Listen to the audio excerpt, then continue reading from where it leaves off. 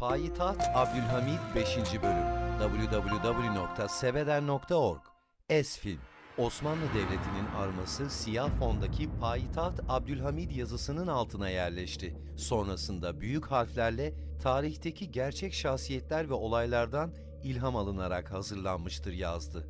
Karanlık gökyüzünde parıldayan hilal ve yıldız. Hilalden uzaklaşılarak bir gül bahçesine yaklaşıldı.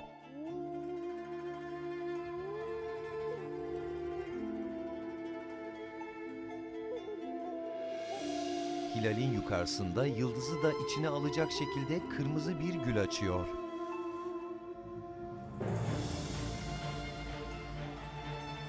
Jenerikte bulutlu bir fonda savaşan askerler, gökyüzüne yükselen alev topları, savaşın içinden çıkarak kanat çırpan beyaz bir güvercin, sürücüsüyle şahlanan bir at, ay yıldızlı kırmızı hilafet sancağı ve bir harita.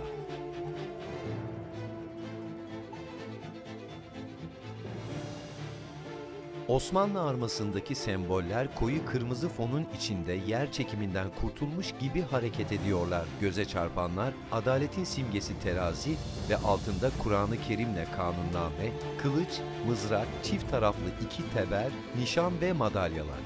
Abdülhamid, Bülent İnal, Bidar, Özlem Conker, Herzl, Saygın Soysal, Ahsen Melike, Ezgi Eyüboğlu Yıldırım, Ömer, Akın Akın Özü, Seniha, Selen Öztürk, Hatice Gözde Kaya, Abdülkadir Can Sipahi, Kemalettin Eren Hacı Salihoğlu, Yusuf İbrahim Kendirci, Celal Umut Kur, Tahsin Bahadır Yenişehirlioğlu, Mehmet Mehmet Bozdoğan, Naime Duygu Gürcan, Sabahattin Kaan Turgut, Karasu Ali Nuri Türkoğlu, Giram Berkan Şal, Ferman Yaşar Karakulak, Asım Ercan Demirer, Sara Elena Viyunova, İzzet Fatih Sevdi, Saffet Ebubekir Öztürk, Samir Emre Kentmenoğlu, Fatma Zeynep Özler, Fehime Elif Özkul, Pakize Gizem Ergün, Adliye Nazırı Yaşar Özveri, Halil Salasun Hekimoğlu, Kargopolos Ergun Kılıçlayan, Zülfet Zeynep Özan, Osman Paşa Aydın Sigalı, Fuat Ufuk Aşar, Osman Yusuf Aytekin, Rıza Ekrem Uzunov, Ethem İzzet Güleci, Hekim Paşa Ünsal Kızılkaya, Mahmut Hakan Boyan. Boşlukta hareket eden tüm semboller birleşerek Osmanlı armasını oluşturdular. Armanın yukarısında Payitaht Abdülhamid yazıyor. Hain. 5. Bölüm Silahlarınızı yere bırakın. Mahmut medet umarcasına adamlarına döndü. Tamam, tamam. Celal usulca indirirken Kemalettin elini beline götürdü. Adamlar Kemalettin'e döndüler. Kemalettin de yavaşça koydu yere. Ani hareket etmekten kaçınarak doğruldular. Boşa ümitlenme paşa. Boşuna ümitlenme. Mahmut'un başını hışımla Yürü. kendine çevirdi. Paşama son bir kez sarılayım. Komut veren uzun sakallı emin olamayıp diğerine döndü. Karşı çıkmadılar. Kardeşim, Sarıldıkları sırada birbirlerinin arka belinden birer tabanca çekip onları etkisiz hale getirdiler. Ne oldu ha? Ne oldu? Hünkârım, gidebiliriz. Mahmut bileğinden bıçakla kapıya çivilenmiş gibi. Para uğruna ihanet eden bedelini sefaletle öder. Kadın uğruna ihanet eden bedelini rezaletle öder. Devlete ihanet eden bedelini canıyla öder. Adamları önlerine katıp faytona yönlendirdiler. Mahmut bıçakla yarım kapının üst kenarına çivilendiğinden kaçamıyor. Abdülhamid içeride. Kemalettin evladım Gözlerini Mahmut'a dikti. gidelim. Hesap sormaya gidelim. Mahmut'u hışımla içeri çekti. Bıçağı çıkarmış. Karşıdan öfkeyle yakasına yapıştı. Ahsen Mahmut'un yanında. Bakımlı beyaz yapıların olduğu işlek cadde. Ömer'le Yusuf köşeden bir sokağa döndüler. Sultanın canına kasteden İram alçağı. Arkasından bakıyorlar. Yürü, adamı hekime yetiştirelim. Geldikleri yerden koşarak gidiyorlar. Taş döşeli yol boş. Samir kaybolmuş. Nereye gitti bu? Ne bileyim Yusuf, ne bileyim. Kalizleri var. Nasıl iştir lan bu? İram bu adamı neden öldürmek istedi? Biz nasıl bir oyun içine düştük arkadaş? Rum hastanesinin ön cephesi. Seniha yaşadıklarının şokuyla tutuklaşmış halde yürüyüp yatağın ayak ucundaki berjere oturdu. Bidar tepkili mağrur bakışlarıyla onu izliyor. Ne oldu? Kızın yaşadığına sevinmediniz mi yoksa? Yo. Bir canın kurtulmasına niçin sevinmeyeyim? Allah şifa versin kızımıza. Lakin ben bir şeye hayret ederim. Neye hayret edermişsiniz? Hünkârımız zehirlenmişken hakikati göstereceğim diyerek beni buraya getirmenize. O zaman hayretinize hemen bir son verelim Seniha Sultan. Hünkârımız zehirlenmedi. Sıhhati gayet iyi. Seniha'nın gözleri büyüyor. Nasıl? Ama bütün saray, hekimler Evet, sevcimi zehirlemeye teşebbüs etmişler. Lakin vakitlice fark edilmiş. o halde niçin herkese zehirlendi denildi? Hainler gafil olup hamlelerini yapabilsinler diye. Seniha başıyla onayladı, endişeyle düşünüyor. Gafiller ortaya çıksın diye. Seniha geçmişe daldı. Enişteniz de ben de Sultan Murat'ın tahta geçmesi için çalışacağız. Siz sadece bir mektup yazıp babanızı ikna edin kafi. Hatice'nin elini tuttu. Yapacak mısınız? Hatice sıkıntıyla gülümsedi. Fehime geride uzak duruyor. Seniha Sultan, Şimdi Seniha Sultan. Bidar yanına oturmuş. Seniha ona döndü. Şaşırdınız değil mi? Ama asıl şaşkınlığı kız uyanıp Mahmut Paşa'nın kendisini öldürmek istediğini mahkemede söylediği zaman yaşayacaksınız. Seniha endişeyle bir hışım Makbule'ye döndü. Bihter kadın. Bana yaralı bir kız gösteriyorsun. Kocanın adını verdi diyorsun ve buna inanmamı bekliyorsun. Ayaklandı. Söyle bana benden ne istiyorsun? Berelttiği gözlerini Bidar'a dikti. Sakin olun ve oturun. Oturun lütfen. Seniha sinirden nefes nefese kalıp çaresizce oturdu. Endişeyle düşünüyor. Karşıdan sirkeci garı. İçerisi kalabalık. Gelen yolcular geçiş için sıraya girmişler. Herzl'la Karasu da onların arasında. Buyurun. Teşekkür ederim. Sıra Herzl'da. Karasu onun arkasında. Bavulları ellerinde. Görevli Herzl'ın verdiği pasaportu ikiye açtı. Herzl diken üstünde. Görevli Arapça yazılı mührü Bay bastı. Benjamin Zev. Hoş geldiniz. Hoş bulduk. Herzl bir adım kenara çekilip yerini Karasu'ya verdi. Görevli onun verdiği pasaportu da mühürlüyor. Siz de payitahta hoş geldiniz Bay Emanuel Karasu. Karasu payitaht halkı gibi bordo fes takmış. Benjamin, Bazen bey Bavullarınızı arayacağım. e, arayamazsınız. Diplomatik pasaport. Görevli masa başındakinin yanında dikiliyor. Bavulum da diplomatik. Ayaktaki görevli Herzl'ın pasaportunu inceliyor. Herzl tedirgin. Ee, kusura bakmayın. Buyurun. Sizin bavulunuzu arayacağım. diplomatik pasaportu nereden buldun Herzl? Eğer Bay Parvus senin dostunsa... ...dünyadaki bütün memleketlerin sefaretleri senin için çalışır. Şimdilik Fransızları tercih ettim. İstersen sana da bir Amerikan pasaportu çıkartırım. Amerikan pasaportunun ne geçerliliği var? Eğer Bay Parvus'un gücü yetiyorsa Osmanlı pasaportu çıkarsın. Dünyanın her yerinde işe yarar. Herzl'ın babası şık kıyafetiyle bakınarak koridora geçti. Onu uzaktan gören Herzl bavulunu bırakıp koşmaya başladı. Gözden kaybettiği koridora döndü. Kalabalığın arasında bakınıyor. Babası ortadan kaybolmuş. Herzl şık bir siyah takım elbise ve fötür şapkayla. Arayış içinde bakınmayı sürdürerek geri döndü. Karasu onun bavulunu da almış. Merakla izleyerek geliyor. Kimi gördün? Hiç kimseyi. Karasu bavulu bırakmadan Ne var yakaladı bunun içinde bu kadar mühim olan? Eğer bu valizi açsalardı ikimiz de sonsuza kadar Osmanlı zindanlarında çürürdük. Çıkışa yürüyorlar. Bence kendine güzel bir otel bul. Yarın sarana kavuşacaksın. Kapıdan çıkıp şehrin havasını solur gibi durdular. Garın dış cephesi mermer. Pencereleri sivri kemerli.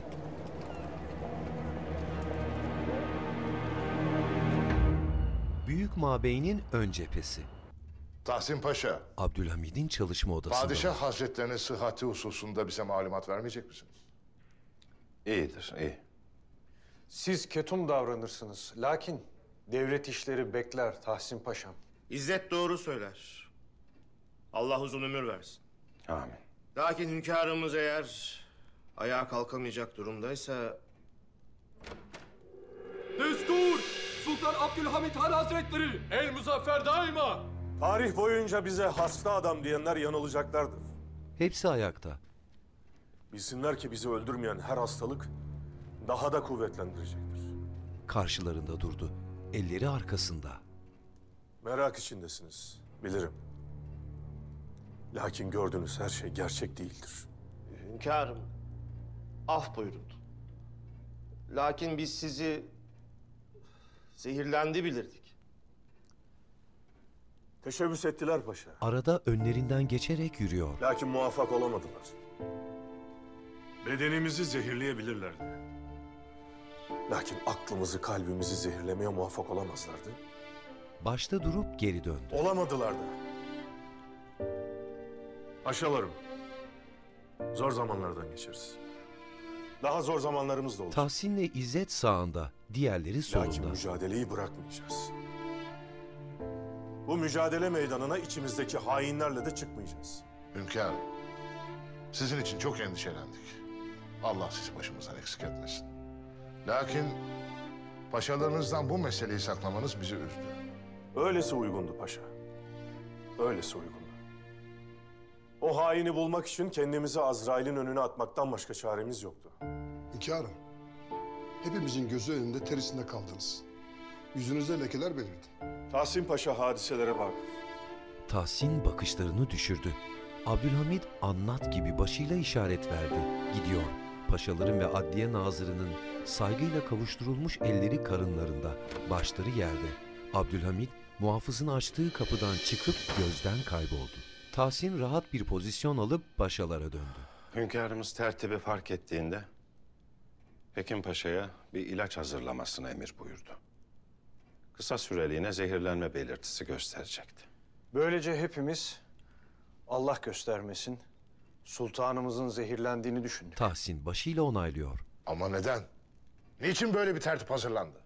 Paşam haini bulmak için Peki bulundu mu? bulundu. Kimmiş bu alçak? Mahmut Paşa. Paşalar şaşkına dönmüş halde aralarında bakışıyorlar. Hünkârımızın zehirlendiği zannedilecekti. Ve kızı kurtarmaya geleceklerdi. Böylelikle hain bulunacaktı. Tertip işe yaradı. Kızı kurtarmaya gelen Mahmut Paşa'ydı. Buna nasıl cüret eder? Mahmut Paşa bu cesareti nereden buluyor? Hünkârımız da sizlerden bunu ortaya çıkarmanızı istiyor. Bir heyet kuracağız. Osman Paşa, Fuat Paşa, Adliye Nazırı Nurettin Paşa. Hünkârımızın emriyle bu heyetin azaları sizlersiniz. Vazifemiz? Mahmut Paşa'yı sorgulayacağız. Bir iddianame hazırlanacak. Bu işin arkasında kimler var tespit edilecek. Akabinde de mahkeme oluşturulacak. Buyurun. Tahsin'in öncülüğünde çıkışa yöneldiler. Onunla İzzet'in lacivert üniformaları apoletsiz. Diğerlerininki apoletli. Halil hep takım elbiseli. Nişanları göğüslerinde. Bakımlı beyaz yapıların olduğu hizada cumbalı üç katlı bir ev. Kapağı açık ahşap bir kutuda tesbih, metalik bir tabaka ve fotoğraflar var. Sara, Ahsen Melike'nin fotoğraflarını almış onlara bakıyor. Yüzünde sevgi dolu buruk bir tebessüm var. Başını endişeyle kapıya çevirip fotoğrafları içine koyduğu kutuyu kapattı. Dikkat çekmeyecek şekilde pufla piyanonun arasına koydu. Telaşla kapıya yürüdü. Sürgülü penceresinden bakıp öyle açtı. Samir, dizlerinin üstünde içeri bıraktı kendini. Yarası kolunda. Saray yanına çöktü. Tanrım ne oldu? Samir Bana kağıt kalem getir Sara. Kağıt kalem mi? Delirdin mi sen? Sara lütfen dediğimi yap hemen. Sara yaralı kolundan tarafa dolandı. Dur Samir hiç olmazsa kanamayı durduralım. Kağıt kalem dedim. Salon koyu renk mobilyalarla ve altın varaklı bordo kadife oturma grubuyla döşenmiş. Samir dizlerinin üstünde orta sehpaya yaklaştı. Beni kıstırdılar. Eli yarasında. Vuruldum. Talihim yaver gitti. Kurşun sıyırdı. Kim neden yapar ki bunu? Kağıt, kalem ve mürekkep getirdi. Abdülhamid'in hafiyeleri. Samir gözlüğünü takıyor. Sara geldiği odaya gitti. Samir mürekkep şişesini aldı. Kapağını açıyor. Sansürlü sol eli bileğinden süzülen kana bulanmış. Abdülhamit mi? Ne derdi var ki seninle? Abdülhamid'e muhalif her muharririn katli vaciptir bu memlekette. İlk yardım çantası getiren Sara, Samir'in paltosunu sıyırdı. Delikten yarasına Okuyan her bakıyor. adama düşmandır. Sara yarayı gömleğin üstünden temizliyor. Ama susturamazlar. Anlamıyorlar ki hürriyetin mürekkebi kandır. Ben ölürüm. Girerim toprağa ama... ...insanlar benim kanımla can bulur. Yürek bulur. Çekerler isyan bayrağını. Hürriyet diye binerler tepesine zalimlerin. Bir yandan yazı yazdığı sırada üçüncü satırın ortasında duraksayıp yere yığıldı. Samir, Sara endişeyle ayaklandı. Yanına çömeliyor. Samir bayıldı. Sara yüzünü kapatan mavi kaşkolunu indirdi. Ne yapacağını bilemez halde düşünüyor. Samir'in gözlüğünün sağ camına kanlı parmak izi, çenesine de mürekkep lekesi bulaşmış. Kuş bakışı Yıldız Sarayı. Abdülhamit arkasında Zülfet'le Ahsen'in odasına girdi. Ahsen'in emrindeki cariyeler girişte karşılıklı dikiliyor.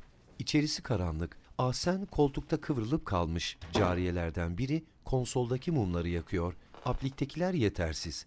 Abdülhamid orta sehpadaki kandilin ışığını artırdı. Ahsen dizlerine kapanıp uyuyakalmış. Neden karanlıktasın kızım? Ahsen doğrulup ayaklandı. Görmek istemiyorum hünkârım. Görürsem hatırlamaktan korkuyorum. Daha düne kadar mazimi hatırlamak istiyorum diye benden yardım isteyen sen değil miydin? Ahsen başıyla onayladı. Ağlıyor. Bugün yeniden doğmak istiyorum hünkârım. Siz o zehri getiren her kimse olmak istemiyorum. Yüzümü yırtmak istiyorum. Yeni bir suretim olsun. Sizin verdiğiniz isim. Ben doğduğumda kulağıma fısıldanan isim olsun. Maziyi değiştiremeyiz kızım. Lakin gelecek için dua edebiliriz. Ahsen kafa sallayıp buruk bakışlarını yeniden düşürdü. Bakımlı bahçe içindeki Rum hastanesinin ön cephesi. Seniha darmadağın bir halde düşünceli bakışlarını hırsla sağa çevirdi. Benden ne istiyorsun diye sordum Bidar kadın. Önce sizin ne istemediğinizi bilelim. Bu kız uyandığı zaman Mahmut Paşa ile beraber sizin isminizle vermesini istemezsiniz öyle değil mi? Benim bu işlerle alakam yok. Ben de onu istiyorum zaten. Alakanız olmasın.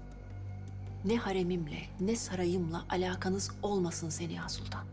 Haremimin idaresini bana geri vereceksiniz. Nedenmiş o? Çünkü sizi korumak istiyorum.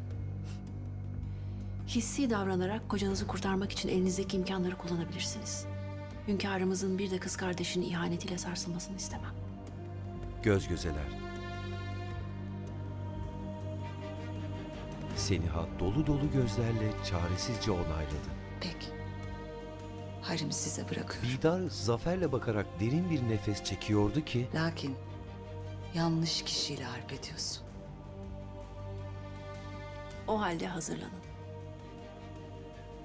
Gözlerinizi bağlayacaksınız.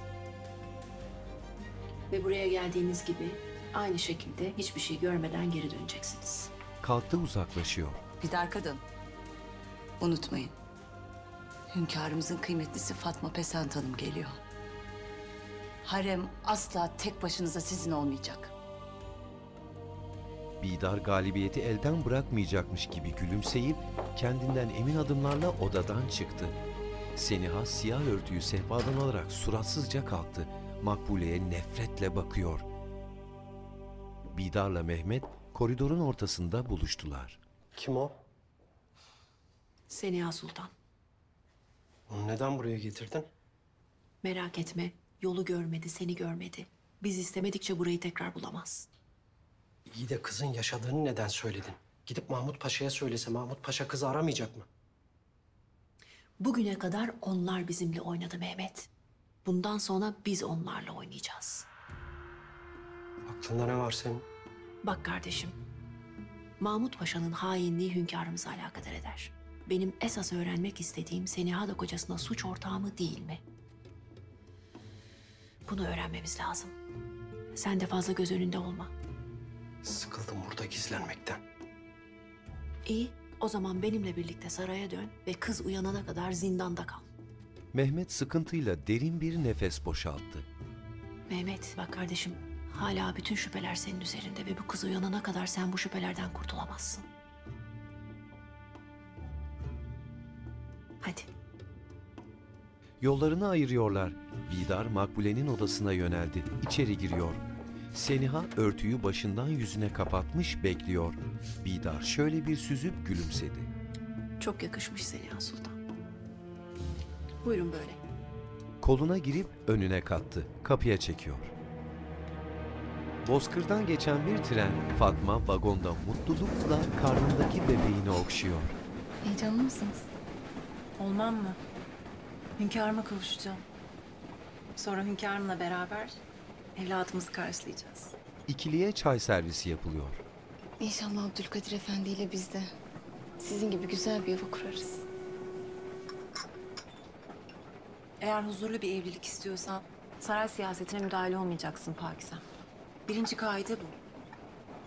Mesaini de hayır işlerine harcayacaksın. Esmer Pakize başıyla onaylayıp iç geçirerek önüne döndü. Fatma fincandaki bitki çayını yudumluyor. Bir yudum da Pakize içti. Çay servisi yapan iki genç kadın vagonda hizmetlerinde bekliyor.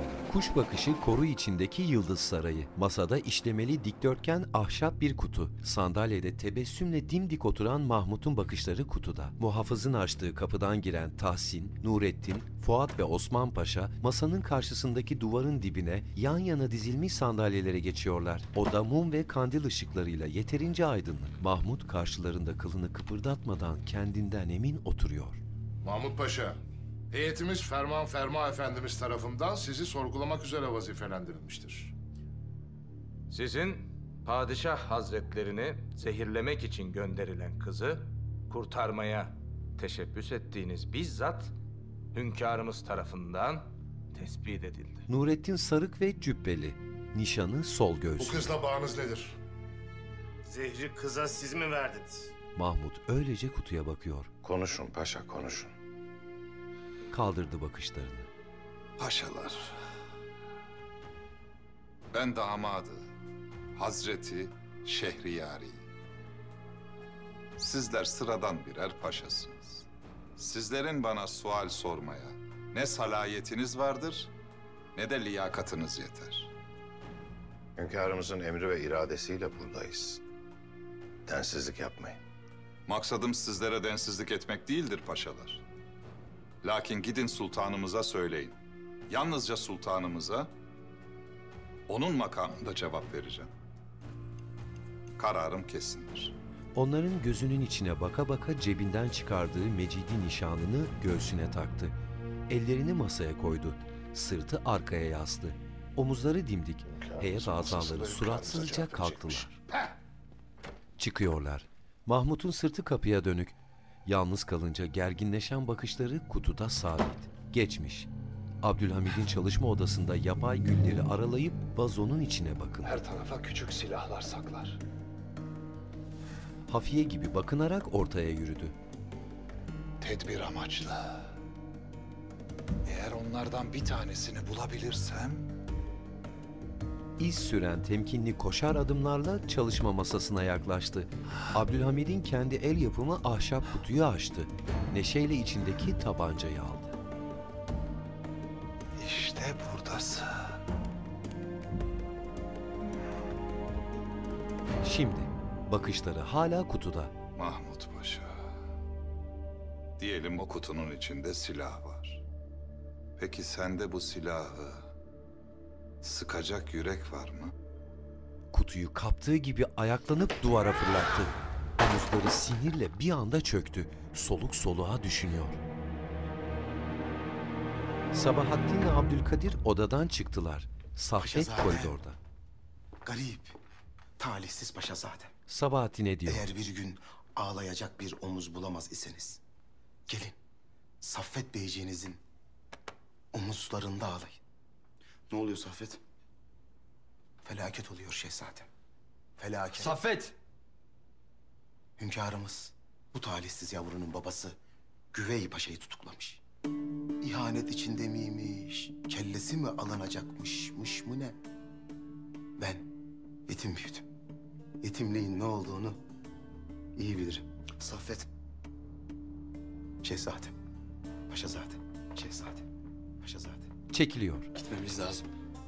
Hayırdır Sabahattin? Birilerine mi haber vermen lazım? Kardeşim, ben senin için gitmeni istiyorum. Babam kasandaki bıçağı söyleyebilir. Anahtarı sende. Gidip bir bakalım.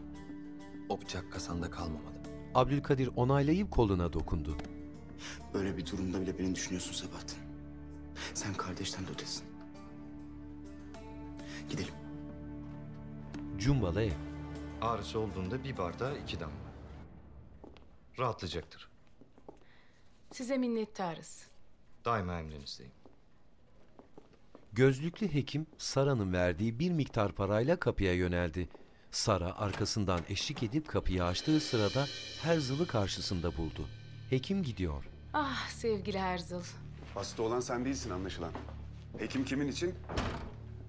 Hekim olduğunu nasıl anladın?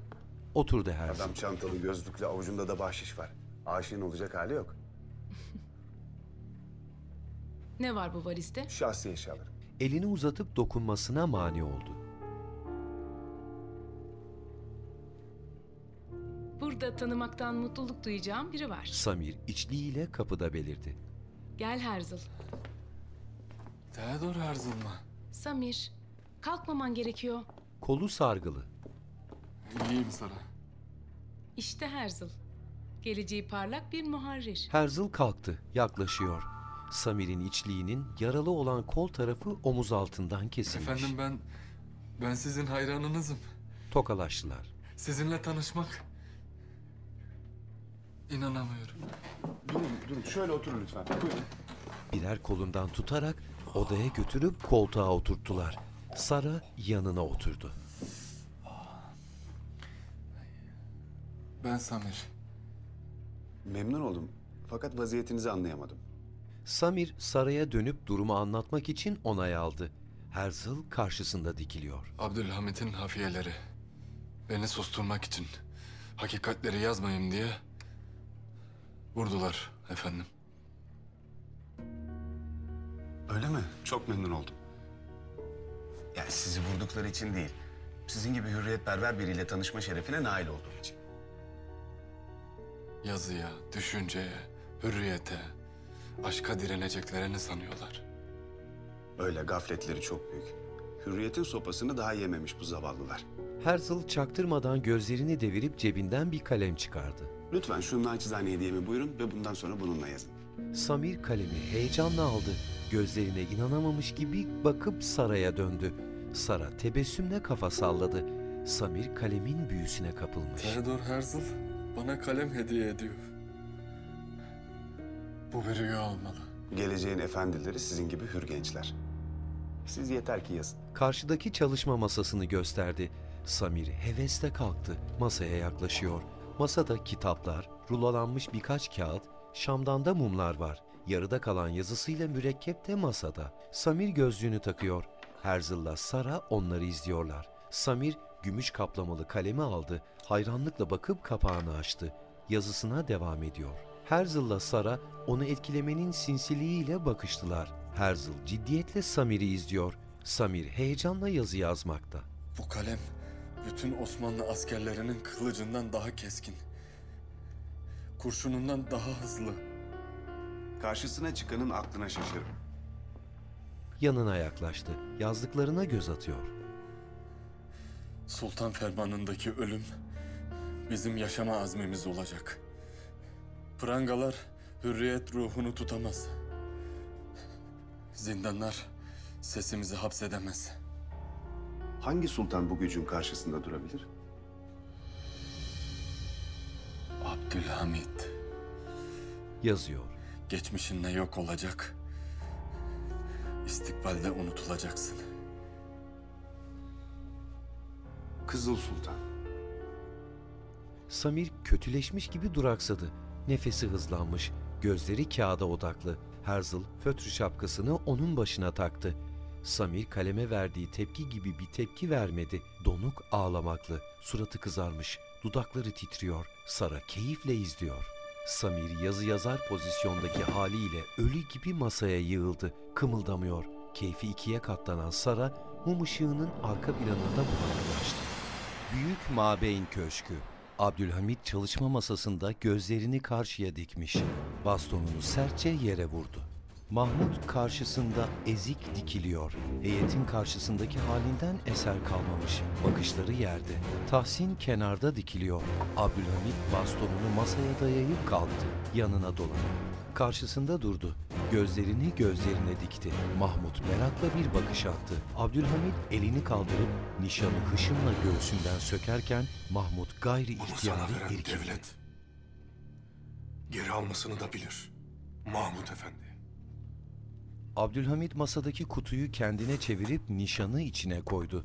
Mahmut sola kaykıldı. Merakla izliyor. Abdülhamit ona dönünce Mahmut yine eğdi başını. Tahsin onları izliyor. Neden ihanet ettin? Ben ihanet etmedim. Ellerini karnında birleştirmiş. Bakışları yerde. Beni zehirlemeye çalışan kızı kaçırmaya teşebbüs ettin. Neden? Çünkü onu sen gönderdin. Yerine oturdu. Bastonunu aldı. Sultanım, ben kızın ismini dahi bilmem. Öyleyse neden kızı kaçırmaya geldin? Beni tehdit ettiler. Siz ağır hastaydınız ve ben devletin geleceğini düşünmek mecburiyetindeydim. Kızı kaçırarak mı?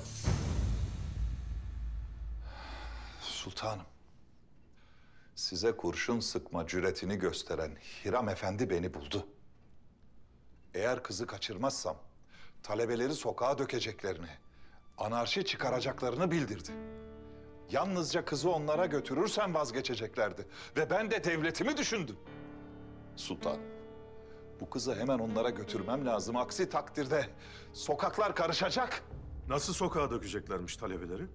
Sultanım, size muhalif bir gazeteciyi Osmanlı hafiyesi kılığında öldüreceklermiş.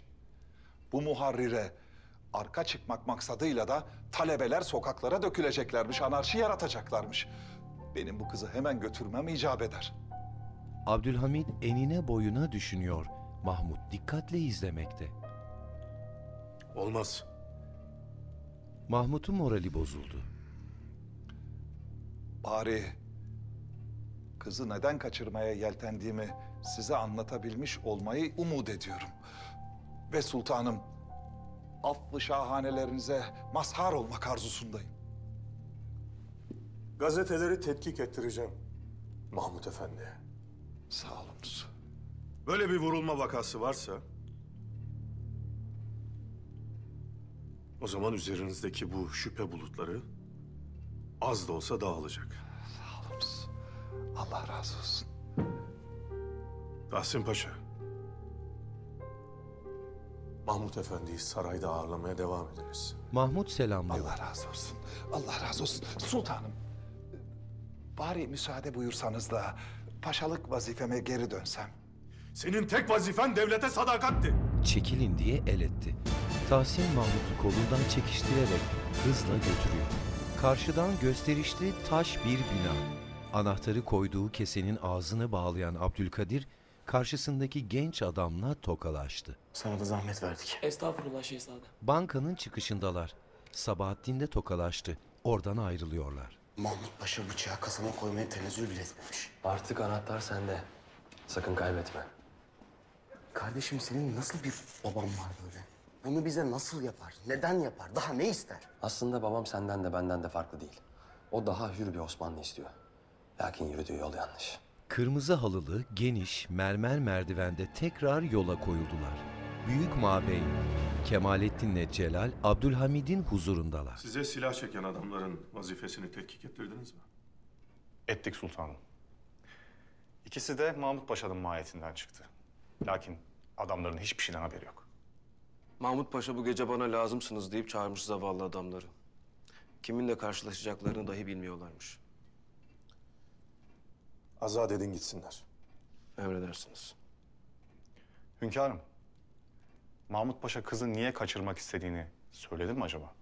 Bazı lakırdılar etti. Tehdit edilmiş. Neyle sultanım? Eğer kızı kaçırmazsa talebeleri sokaklara dökeceklermiş. Devletim için yaptım diyor. Kendini kurtarmak için söylüyor olabilir mi? Abdülhamit tepkiyle Tahsin'e döndü. Göreceğiz paşa. Tahsin bakışlarını düşürüp kafa salladı. Bir muharririn vurulma haberiyle talebeleri sokaklara dökeceklermiş. Sizden isteğim basılmak üzere olan gazeteleri tetkik ediniz. Böyle bir haber vurulan bir muharrir var mı? Emredersiniz. Abdülhamit çekilebilirsiniz diye işaret etti. Gidişlerini izliyor.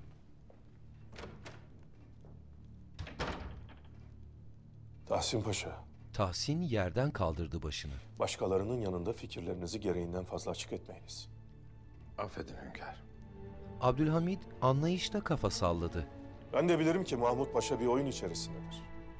Tamamen aklanmadan nazarımdaki yeri değişmeyecektir. Lakin bir ihanet vaki ise yalnız değildir. Eğer o bir kuklaysa iplerini tutanı da bulacağız. İnşallah. Safet telaşla geliyor. Hünkârım, Söyle Saffet. uzun yoldan bir misafiriniz geldi. Abdülhamit gerilip Tahsin'e göz attı. Sokaktan cumbalı ev. Herzl ceketini çıkarmış salonda oturuyor. Başını kapıya çevirdi. Odadan çıkan Sara kapıyı açmaya gidiyor. Sabahattin davetsizce eşikten geçti. Babam tutuklandı. Melike? Melike ne oldu? Sana babam tutuklandı diyorum Sara. Sen hala Melike diyorsun. Zehirlenme hadisesi Abdülhamit'in tertibiymiş. Onu kurtarırken tutuklandı babam. Herzl da geliyor. Melike de kim? Oo. Bay Herzl.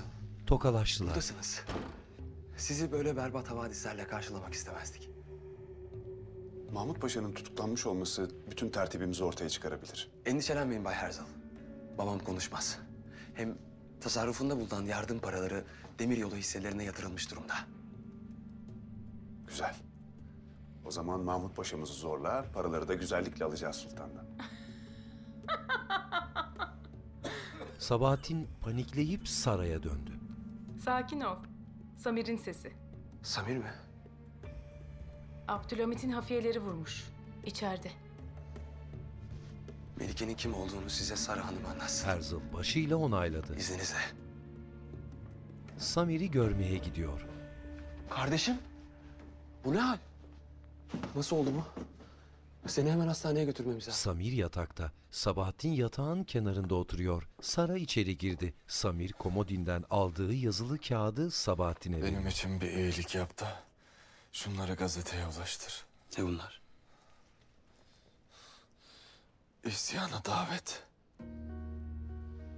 Eğer senin gibi bir hürriyet aşığına bir şey olursa...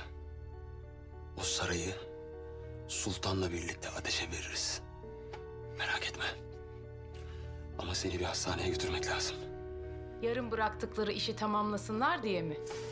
Bakışlar kapının önünde bekleyen Saray'a çevrildi. Kuş bakışı Yıldız Sarayı. Kemalettin Paşam, Koridorda karşılaştılar. Sultanım, afiyettesinizdir inşallah. malumunuz devlet meseleleri. Acelemiz var biraz müsaadenizle. Naime bozuldu. Kemalettin çekti gidiyor. Celal olduğu yerde kala kaldı. Naime hışımla uzaklaşıyor. Kemalettin durdu, izliyor. Celal yanına yöneldi. Paşam. İzdivacı düşünmez misiniz? Düşünmezdim. Lakin... Lakin? Aramızda kalsın. Şu Hatice Sultan var ya. Sultan Murad'ın kızı. Aynen, ta kendisi. Geçenlerde bana bir mektup yazmış. Hislerinden bahseder. Hmm. Yakışır paşam. Yakışır. Celal'im, bari sen paşa paşa deyip durma. Ya en azından sen Harbiye'deki gibi davranmaya devam et. Zaten Peder Bey'in hürmetine verilen ünvan ziyadesiyle kanıma dokunuyor. Harbiye'yi birincilikle bitiren de babanız Şanlı Osman Paşa mıydı acaba? Sen yükselmeyecektin de kim yükselecekti? Yakışır paşama. Hadi. Fehime dergiye bakıyor.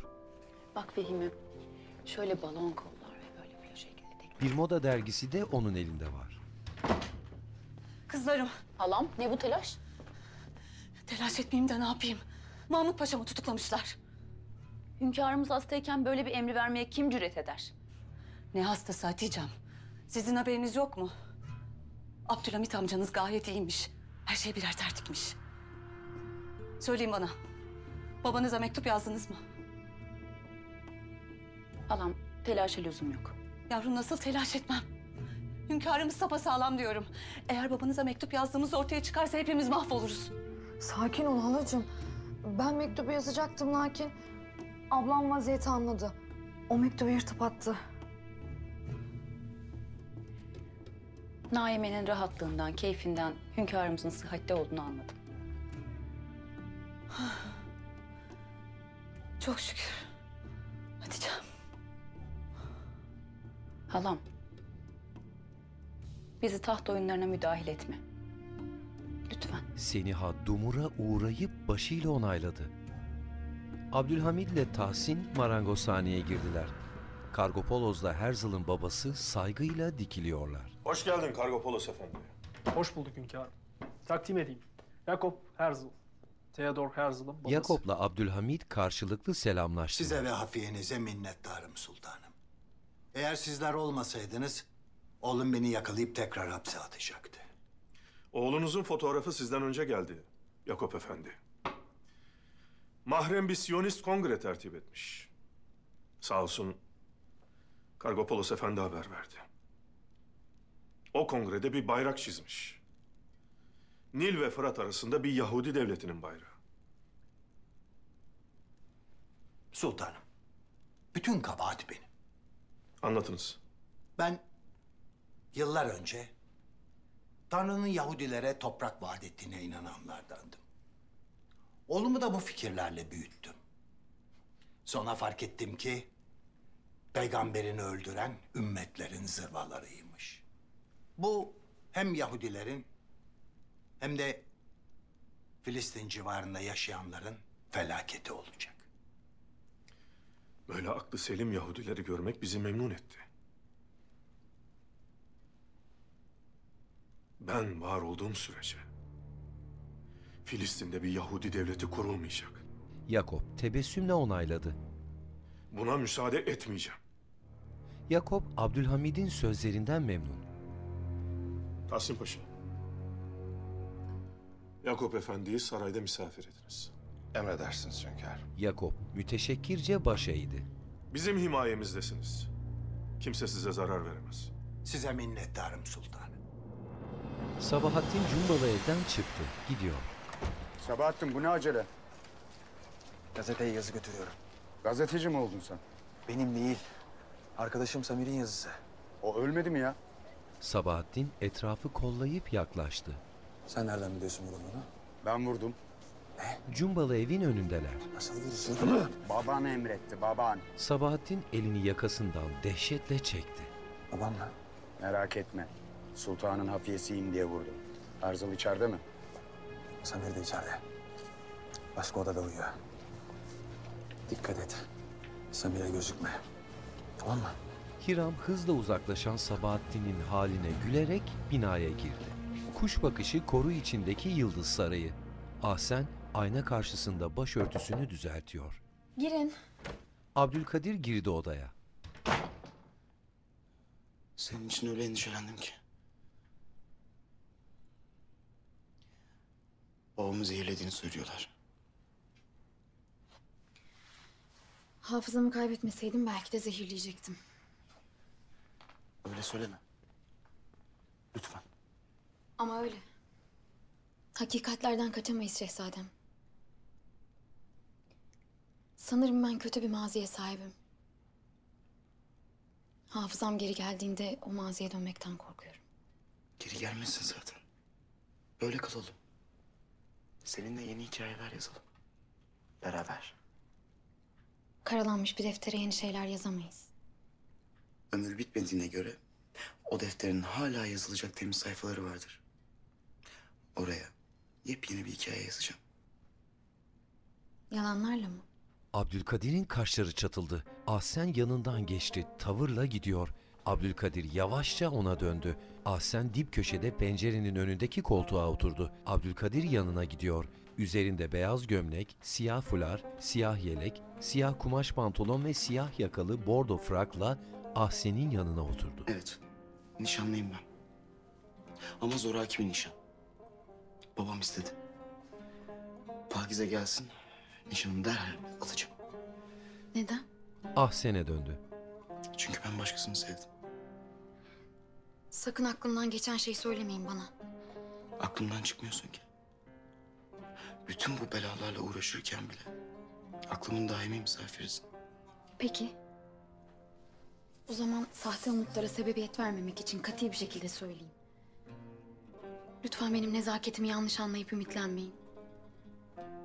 Siz ve ben olmaz. Asla. Aşk denilen bahiste sevgililer birbirlerine ezel bezminde merhaba demişlerdir. Ve ben size merhaba dediğimi hatırlamıyorum. Yani Yani eğer yanlış anlaşılmaları sebebiyet verecekse ben bu sarayda durmam. Nişanlınızla size mutluluklar diler giderim. kadınlar her zaman onları seven erkeklere umut vermeyi sürdürürler. Onlarla bir gelecek düşünmeseler dahi. Beğenilmek, hep beğenilmek isterler. Ama siz öyle değilsiniz. Ve işte bu yüzden sizi sevdim. Ahsen başını yere eğip hışımla ayaklandı. Kapıya gidiyor. Eğer biraz hakkım varsa çıkın. Lütfen. Abdülkadir imayla gülümseyerek önüne döndü. Acele etmeden kalkıp yakasından ceketini düzeltti. Geliyor. Ahsen sinirle nefes nefese önüne bakıyor. Abdülkadir karşısında durunca Ahsen bakışlarını da indirdi. Hayat defterinde hala boş sayfalar var Ahsen. Ben mürekkebi aşktan baki bir kalemim. O kadar. Gidiyor.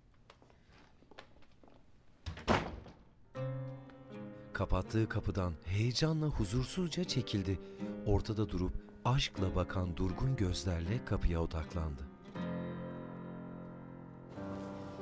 Karşıdan üç katlı beyaz cumbalı yapı. Piyanonun başındaki Sara'nın dairesi orta katta. Nota sayfalarını önüne açmış. Sağa kayılarak masada yemek yiyen Herzl'a geçildi. Sırtı Sara'ya dönük. Sara kapıya döndü. Kim bu diye dikkat kesildi. Kalkıyor. Herzl rahat bir tavırla yemeğini yemeye devam ediyor. Sara sürgülü kapı penceresinin deliklerinden baktı ve kaşlarını çatıp garipseyerek şaşkınca Herzl, Herzl'a döndü. Kapıda bir at hırsızı var. Beklediğin adam olmasın. Aç kapıyı Hiram'dır. Ağzını siliyor. Sara kaşlarını kaldırarak güleç yüzüyle açtı kapıyı. Hiram tebessümle girdi. Hiram. Ne kadar gençleşmişsin. Her şeyi duydum. Herzl'a dönüp onun kafa işaretiyle karşıdaki odaya yöneldi. Herzl arkasından gidiyor. Hiram Samir'in yattığı odaya girecekti ki Her şeye burnunu sokma. tutup çekti kolundan. Samir'in yazı yazdığı masanın önünden bavulu çıkardı. Konuk koltuklarının arasındaki sehpaya yatırdı. Karşı koltuğa geçip oturdu. Hiram bavulun üstünde cebinden çıkardığı ufak tefek alet edevatlar olan kumaş şeridini açtı. Koltuğa oturdu. Sağ dizine yerleştirdi. Baştaki cepten iki maymuncuk alıp birini ağzına sıkıştırdı. Bir de metal bir çubuk aldı. Menteşeli kilidin sol taraftakini açmaya çalışıyor. Sara boğazlı siyah bluzu, uzun bordo kloş eteğiyle piyanonun başında. Hiram ağzındaki maymuncuğu çıkarıp onu da işine dahil etti ve kilidi açtı. Diğerini açmaya koyuldu. Herzl pür dikkat izliyor. Dikkat et. Ne yaptığımı biliyorum Bay Herzl. Herzl aşırı gergin. Hiram diğer kilidi de açıp bavulun kapağını usulca kaldırdı. İçinde dinamitlerle hazırlanmış bomba düzeneği var. Herzl kapağın ardından ürkek, tedirgin bakıyor. Vay vay vay vay. Ben bunlarla İstanbul Boğazı'nın gerdanını bile kırarım. Çok büyük ses getirmeli. Merak etmeyin. Bu patlamayı Sağır Sultan bile duyacak. Sultan Abdülhamit duysun kafi. Herzl bavulu kapattı. Malzeme kumaşını rulolayarak topladı. Herzl'la birlikte cebine koyarak ayaklandı. Herzl kapıya yaklaşıp ona döndü. Hiram valizi alıp gelirken Herzl önden çıktı. Hiram, Samir'in kaldığı odayı açtı. Aradan yatakta gördü onu. Samir uyuyor. Hiram çekti kapıyı. O gazeteci değil mi? Herzl kolundan tuttuğu gibi kenara çekti. Nereden tanıyorsun? İnsan vurduğu adamı tanımaz mı Bay Herzl? Ne? Mahmut Paşa vur dedi. Neden? Abdülhamit muhalif gazetecileri vurduruyor diye yaygara çıkarmak için. Hiç fena fikir değilmiş. Bunu vur. Bu gazeteci kudurmuş, alışmış vazgeçmez. Yine yazar, yine yazar dedi. Doğru söylemiş. Çocuk hala yazmaya çalışıyor. İş bitmiştir o zaman. Onu okuyan bütün talebeler sokağa dökülecek. Arkasından İstanbul'da büyük bir patlama oluyor. Hiram başıyla doğruluyor. Büyük kargaşa çıkacak. Kargaşanın olduğu yerde uyuz bir köpek bile bütün sürüyü peşine takar da ölüme götürür. Halk sultan başımızda olduğu müddetçe bize huzuru yok diye düşünürse o zaman tamamdır. İyi eğlenceler. Üzerinde yırtmaçlı siyah redingotu, başında fötr şapkası, elinde bavulla sarayla iletişim kurmadan geçti. Gidiyor. Herzl elleri ceplerinde odadan çıkıp durdu. İzliyor. Hiram sarayla ikisine göz gezdirip çıktı. Sara onlarla hiç ilgilenmiyordu. Son notasını Herzl'a bakarak bastı. Herzl gergince ona döndü. Abdülhamit marangozhanede cila şişesini çalkalıyor. Önünde onardığı trenin bir parçası var. Odaya Seniha girdi. Zevcin için geldiysen boşa çaba harcama. Hayır hünkârım. Size zevcim için tek kelam etmeyeceğim. O halde Evvela sizin sıhhatli olmanıza hamd ederim. Bunu biliniz. eyvallah. Şunu da biliniz ki ben hanedanımızın bir evladıyım. Allah gecinden versin. Zat halinize bir şey olsa dahi hanedanımızı ve devletimizi düşünürüm. Amenna. Sadede geliniz. Diyeceğim şudur. Nemli gözleri kızardı. Eğer Mahmut Paşa devletine karşı bir kabahate bulunduysa onun hükmünü verecek olan sizsiniz. Lakin sizi temin ederim ki ben ve evladım bu işin haricindeyiz. Abdülhamit işini bırakıp şefkatle ona döndü. Senin bir dahlin olduğunu düşünmüyorum zaten. Seniha rahatlayıp yutkundu. Abicim. Dahlim olmasa da bana lütfettiğiniz harem vazifesinden azlimi isterim. Peki. Azledildiniz. Çekilebilirsin diye el etti. Seniha bu kadar çabuk kabul etmesinin şaşkınlığıyla afalladı. Kapıya çekiliyor. Abdülhamit zımparalama işini bitirip cila şişesini açarken şefkatli halinin aksine arkasından dik dik bakıyor. Çorbacıdaki Yusuf çorbasını iştahla kaşıklıyor. İçsene soğutmadan. Ömer iştahsız. Ah ulan. Çorba soğuk olsa kursağımdan geçerken ısınır. Yüreğim soğumuyor ki. Benim anlamadığım hünkâra tertiplenen suikastla vurulan adamın ne ilgisi var? Büyük kumpas var Yusuf. Mahmut Paşa'nın kendi koluna sıkması, ardından o fotoğraftaki çocuğun vurulması. Gördüklerimizi gidip hünkârımıza anlatmalıyız. Neyse ne oğlum bize ne? Bizim işimiz değil. Neymiş o sizin işiniz olmayan şey? Yok baba bir şey. Asım Usta senin bu oğlun bir saray rüzgarına kapıldı gitti haberin olsun ha. Ömer susmasını işaret etti. Hünkâra suikast tertipleyenlerden biri. Ömer adamı kendine dert etti. Adam limanda karşımıza çıktı senin bu oğlun gitti peşine düştü. Sonra bugün Pere'de karşımıza çıktı. Biz işimize bakalım dedik ki Ömer gidiyor adamın peşine takılıyor. Ya oğlum sana ne bize ne? Hünkârın bir sürü askeri var Allah Allah. Askeri vardı da ne oldu? O Hiram Alçı'ya az kalsın vuracaktı hünkârı. Orada da bir sürü askeri vardı. Lakin suikasta ben mani oldum. Yusuf şaşkınca kaldırdı bakışlarını. Asım Hünkârı yaklaşıyor. kurtaran sen miydin? Ha, o yüzden mi seni davet eder sarayına? Yine de neyse ne oğlum bize ne boş ver. Bizim saray siyasetine aklımız ermez. Ömer yürü git işine diye elini savurup kalkınca Asım otur hele diye omzuna bastırdı.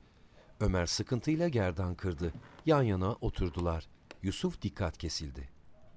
Evladım, vaktiyle merhum Sultan Aziz zamanında kaymakam bizim köye geldi. Saraya muhafız birliğine asker alınacağını söyledi. Ya tamam işte Asım amca sen de gitmemişsin. Gidemedim. Yusuf şöminede ısınıyor. İlkin duyunca hemen gidip adımı yazdırdım. Eve dönerken bir arkadaşım saray kapısına uşak mı olacaksın deyince dönüp adımı sildirdim. Yusuf gelip oturdu yerine. E baba sonra? Sonrası bizim köyde bir derviş Selimi vardı. Benim adımı sildirdiğimi duymuş. Sordu söyledim. Hünkâra uşak mı olacaktım dedim. Derviş Selimi şöyle bir durdu, baktı. Sizi hünkâra uşaklık yapmaya çağırmıyorlar evladım. Saraydaki Oğuz Bey'ini korumaya çağırıyorlar. Nasipsiz dedi ve gitti.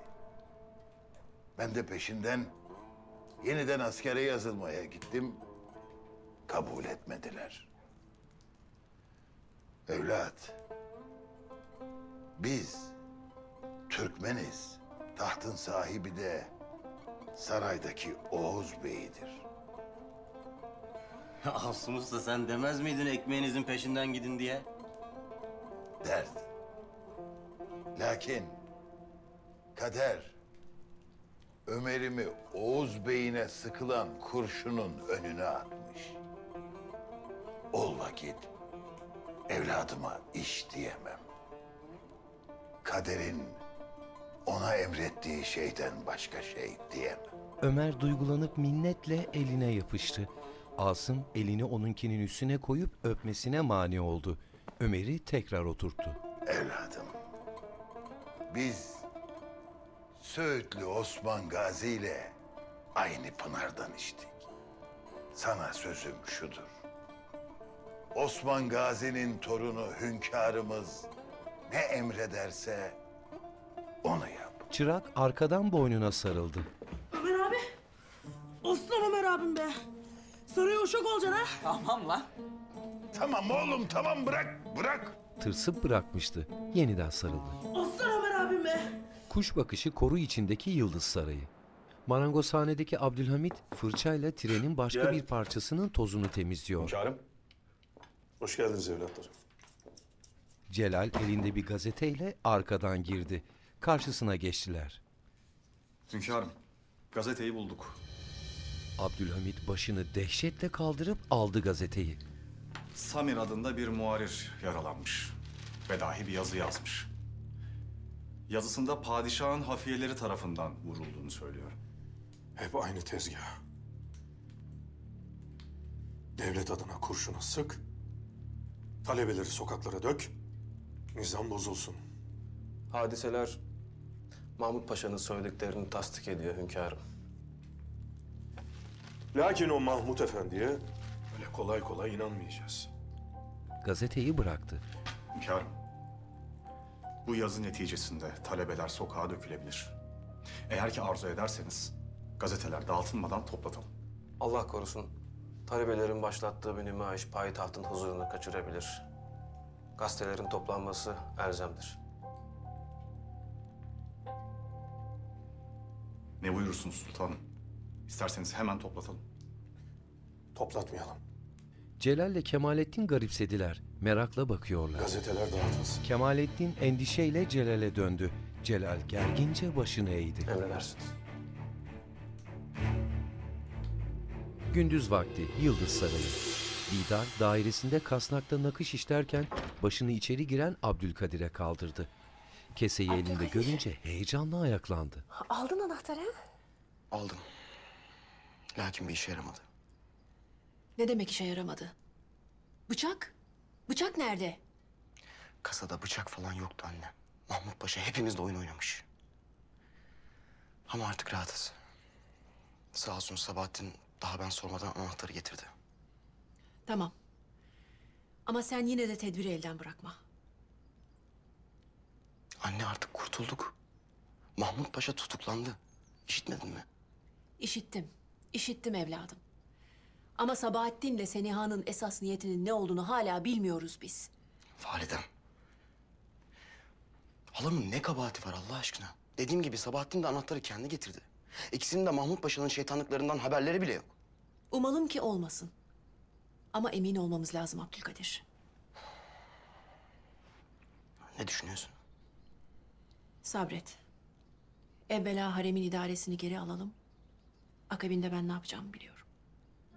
Abdülkadir başıyla onayladı. Bidar gergince düşünüyor. Ahsen marangozhanede çalışıyor. Burada beklememi söylediler de. Ahsen raftan aldığı fırçalıkları çalışma tezgahına Ama yerleştirdi. sizi de burada bulacağımdan emindim. Çalışınca sıkıntılar az da olsa hafifliyor. Sıkıntılarınızı arttırır mı, azaltır mı bilmem ama size bir haberim var. Ne oldu?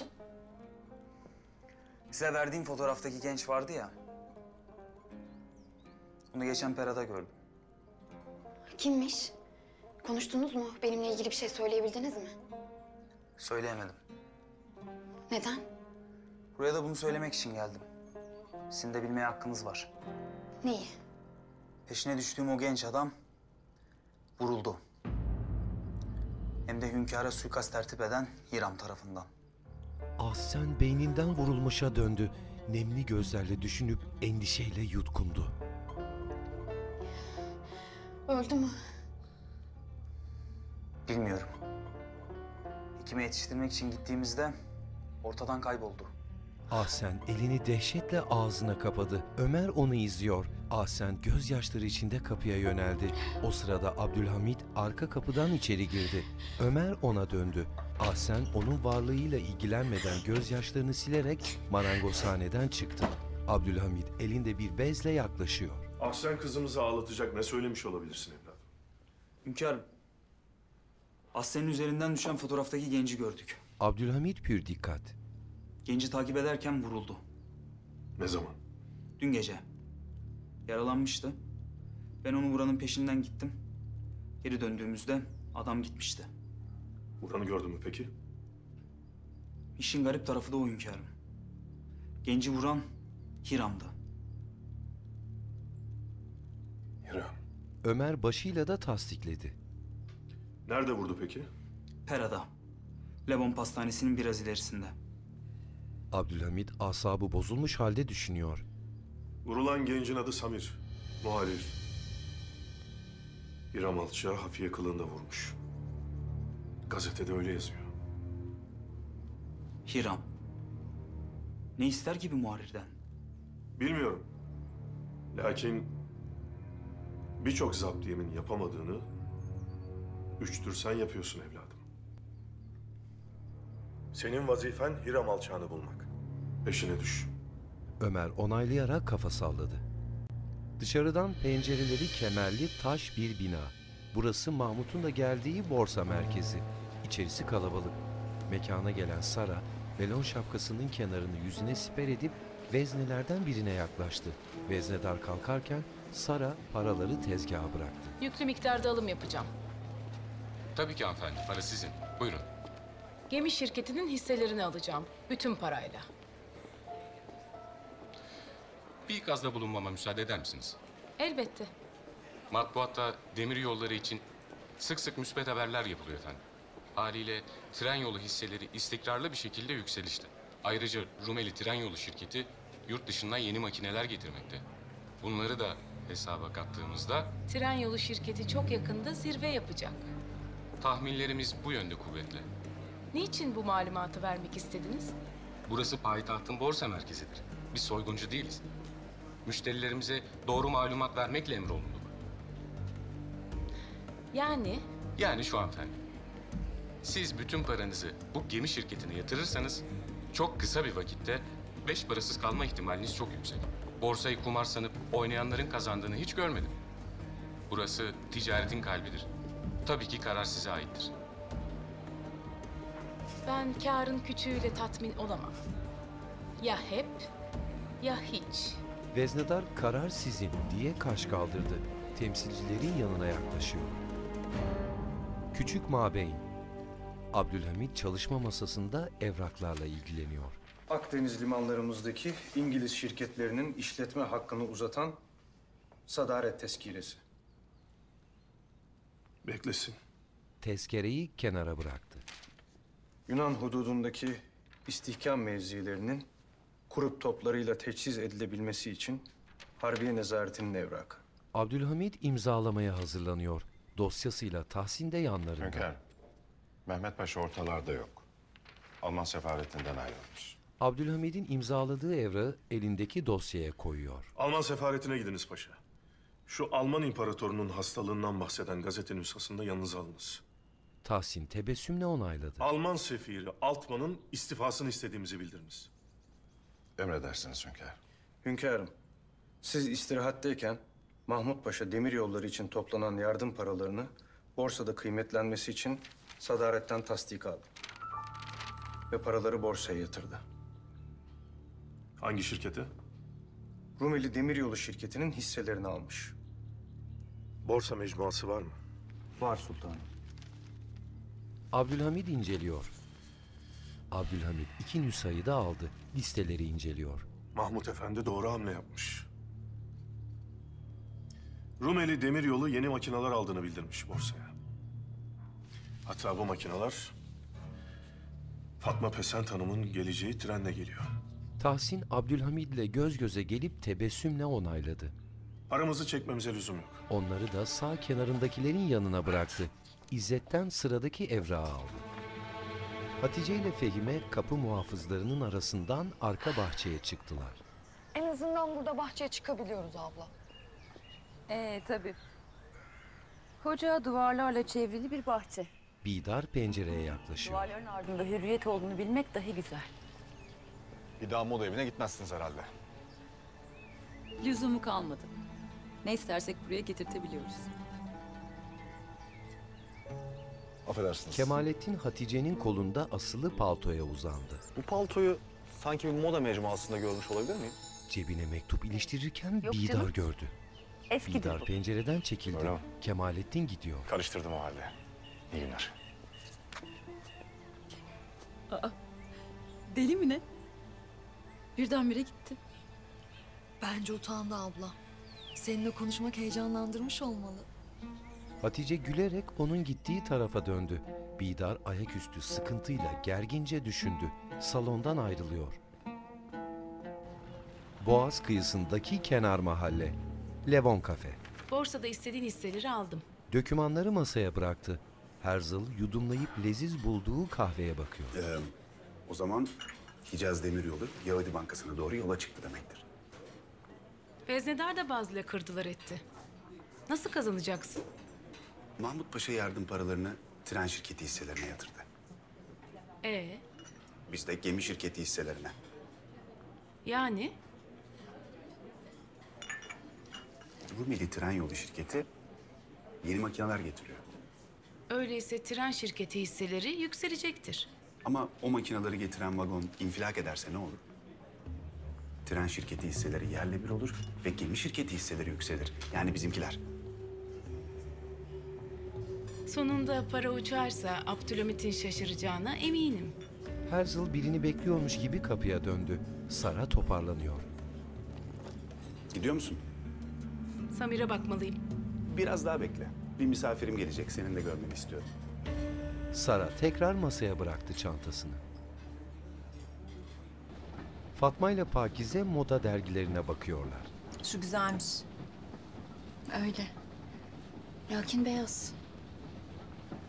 Yoksa bir saray kaidesini yıkıp beyaz gelinlik giymeye cesaretin yok mu? Yo. Ben sizin kadar cesur değilim. Hizmetlerindeki kadınlar gitmiş. Bir dar kadın efendi sizi beyaz gelinlikler içinde görünce az kalsın bayılacaktı. Kırmızının nesi varmış? Saray kaidesi bozuluyor muymuş? Neyse ki hünkârım geldi de beğendiğini söyledi. Yoksa değiştirtecekti bir dar kadın gelinliğimi. Karnını okşayarak pencereye döndü. Bakın bu da güzelmiş. Ama bu da beyaz. Eğer Abdülkadir Efendi'yi ikna edebilirsen bence sen de beyaz giy. Yok. Yani ben bir dar kadın efendinin şimşeklerini üzerime çekmeyi göze alamam. Vallahi nikahtan caydırır şehzademi. Fatma pencereye dönüp sancısı tutmuş gibi suratını ekşitti. Sultanım. Sultanım Sultanım iyi misiniz? Aa, yok değilim Pakize. Sancı, sancı başladı. Doğum sancısı gibi bir şey mi? Yok değil, başka bir şey. Hekim de yok ki. Dergileri yere atıp kalktı. Yatın uzanın. Gelin şöyle. Yatın. Pakize elini tuttu. Geri geri koltuğun başına kaymasına yardım edip bacağını koltuğa kaldırdı. Sürgülü kapıyı açıp başını boş koridora uzattı. Kızlar! Kızlar! Fatma acıyla sesleniyor. Kuş bakışı koru içindeki Yıldız Sarayı. Kızlar salonda bir aradalar. Hayırdır Naime? Ne bu halin canım? Yok bir şey. Yüzün öyle söylemiyor ama. Dokunsak ağlayacak gibisin. Her zamanki halim. Yoksa gönül meseleleri mi? Sonunda cesaretimi toplayıp sırrımı ifşa ettim sevdiğim adama. E ne güzel işte. Ne güzeli Fehmi. Rezil rüsva ettim kendimi. Sultanımızın kızına bir kabalık mı edildi yoksa? Naime başını iki yana salladı. Kabul etmedi mi seni? Hatice'lerin dairesindeler. Hatice cebinden mendil çıkarırken kağıdı Keşke fark kabul etti. etmese. Mendili Naime'ye verdi. Cevap dahi vermedi. Benimle alakadar dahi olmadı. Ne cüretle cevap vermezmiş. Kim bu edepsiz? Kimse kim Fehmi? Söylemeyecek misin kim olduğunu? Sana akıl veririz. Belki bir faydamız dokunur. Yok, söylemem. Paltosunu alıp yanlarından uzaklaşan Hatice kağıtta Size yazanları karşı derin okuyor. hisler beslemekteyim. Kemalettin. Hatice heyecanla gülümsüyor. Abla, baksana sultanımızın ağzından laf alamıyoruz. Hatice onlara döndü. Üstüne gitme Fehimi. Naimem ne yaptığını bilir. Naime derin bir iç çekiyor. Hatice kağıdı onlara göstermeden kolunda asılı paltonun cebine iliştirdi. Ahşap yapıların olduğu sokak. Sokakta seri adımlarla yürüyen Ömer kahveye geldi. Selamun aleyküm ağalar.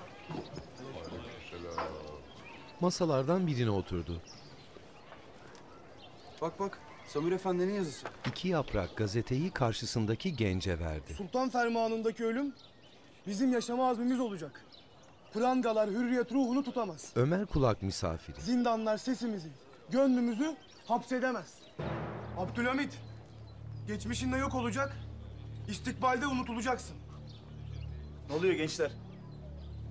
Ne o? Rahatsız mı oldu? Tabii. Gencecik gazeteciler vurulur. Bunun gibi çomarlar da yazdıklarından rahatsız olur. Oğlum siz hiçbir meselenin ardına düşmeyin tamam mı? Size ne verirlerse onunla aldanın. İki yıl önceki depremi de hünkârımız yaptırdı. Değil mi? Gazeteyi Hadi. suratına çarpınca Ömer de ona fırlattı. Ferman öbürünün yumruğunu kesti. Kendinizi ezdirmeden ikiniz de ikileyin. Savurarak bıraktı kolunu. Sizin gibi koyunlar yüzünden başımıza daha çok durur o zalim sultan. Oğlum kim la koyun? Gençlerin yanından geçen Yusuf şaşkınca durdu. Ferman Ömer'e göz attı. Hayırdır? Gel Yusuf gel gel. Gençler gidiyorlar. Yazına. Oturuz. Ömer yerden aldığı gazeteye göz atarak oturdu. Ne oluyor evlat? Karşısına oturdu. Ya bu yarım akılların bahsettiği yazı var ya. Ee? Hünkâra suikast tertipleyen sefil, Abdülhamit'in afiyesiyim diye vurmuş muhariri. Kızın kocası muharrir miymiş? Evet muharir. Kızın neyi olduğunu daha bilmiyoruz. Bu yazı yarın sokakları karıştırırsa şaşırmamak lazım. Yusuf başıyla onaylıyor. İşte bu yüzden Hiram'ı bulmak lazım. Ağam, senin kulağın deliktir. Yok mu adamı sorduracağımız birileri? Var. Var. Bir papaz vardı. Güzel adam. Zamanında kilisesine musallat olan iki kabadayıyı sigaya çekmiştim. Sayar bizi. E Hiram da Kofti'den de olsa papazdı. Belki bir malumat verir ha. Ya hadi gidelim. Ayaklandılar. Kahve? Giderken Lütfiye söyleriz gelir bakar ağam. Zaten müşteri yok. Olanı da Ömer kaçırdı. Tamam tamam hadi. Samimiyetle yanlarına indi. Birlikte yola koyuldular. Küçük Mabey. Alman sefere buyruğunuzu ilettim. Lakin daha o gece Mehmet Paşa'yı bıraktığını söyledi. Çalışma odasındalar. Neden teslim etmemiş? Buyruğumuz bu şekilde miydi? Hünkârım, Mehmet Paşa Alman sefirden izin istemiş. Önce ablasıyla görüşecekmiş. Ardından saraya teslim olacakmış. Abdülhamit çalışma masasında düşünceli, sert bakışlarıyla önüne döndü. Bu bir bahane değil paşa. Bu bir bahane değil. Bay Altman'la görüşün. İstifasını yazıp Alman imparatoruna göndersin. Tahsin gülümseyip elindeki kağıdı ona uzattı. Buyurun hünkâr. Nedir bu? Geldiğimi haber alınca Alman sefir korkudan hemen istifa mektubunu yazmış. Bu da nüshası. Abdülhamit açıp okudu. Tekrar dörde katlıyor. Yerine gönderecekleri sefiri iyi seçseler bari. Tahsin başıyla onaylıyor. Makul ve adil biri ise çalışabiliriz. Lakin o da iç işlerimize müdahil olmaya devam ederse akıbeti aynı olur. Emredersiniz hünkâr. Abdülhamit istifa dilekçesini Tahsin'e uzatarak kalktı ve sert bakışlarını karşıya dikti. Biz de gidip Bidar kadını Mehmet Paşa'yı soralım. Pera sokakları. Arka planda Galata Kulesi'nin dorukları. Kim gelecek? Kimi bekliyoruz her yıl bu kadar zamandır? Eldivenlerini çıkardı. Baksana gençler yıllardır hürriyet bekliyorlar. Sen iki dakika bekleyemiyorsun. Payitaht kaynıyor, sen uyuyorsun. Sara gözlerini devirdi. Dinlesene şu harika gençleri. Sizleri tanımıyorum. Yüzünüzü görmedim. Elinizi tutmadım ama ey hürriyet aşığı kardeşlerim. Biz çok yakınız. Sesinizi duyuyor, sıcaklığınızı hissediyorum. Ölürsem sizin için ölmüş olacağım. Kanım sizindir. Şerefimiz birdir ve hepimizindir. Aydınlığımız meşale gibi. Korkmadan karanlığın hükümdarına hücum edelim. Samir Efendi döktürmüş yine. Biz de sokaklara döküleceğiz. Bak Samir de öyle demiş. Ben mesele değilim. Sultan denen zorba beni öldürür. Sonra sıra sana gelir. Ama senle de bitmez. Sıra dağa gelecek, ormana gelecek, kuşa çiçeğe. Sonra yetmeyecek. Rüzgara, çocuklara, güneşe, toprağa, denize, aşka inecek zulüm. Zorba her şeyi kasıp kavurmaya gelen ateştir. Zorba yakmaya başladı mı durmaz kardeşim. Yeter artık. Öleceksek ölelim. Meydan kurulsun, inceldiği yerden kopsun. Nerede? Ne zaman toplanacağız? Siz sözünüzü durun yeter. Haber verecekler. Hep beraber aniden ineceğiz meydanlara. Hadi arkadaşların yanına gidelim. Yol kenarında pencerenin kenarından ayrılıyorlar. Sizlerle gurur duyuyorum. Yine ayaklanma mı? Evet ama bu sefer bomba gibi bir ayaklanma. Abdülhamit sloganlarla devrilecek adam değil. Zor o iş. Halkın sabrı ve hafızası günlüktür. Halk hiçbir zaman uzun süren bir kargaşaya dayanamaz. Baş tacı ettiğini gün olur ayakları altına alıverir. İşte beklediğimiz misafir geldi. Onu benden iyi tanıyorsun. Sara donukça ayaklandı. Sevgilim? Karasu sarılacakmış gibi gelip tokat patlattı. Herzl panikle ayaklanıp kolunu kavradı. Karasu Sara'ya öfkeyle bakıyor. Herzl şaşkın. Hanedan köşkü.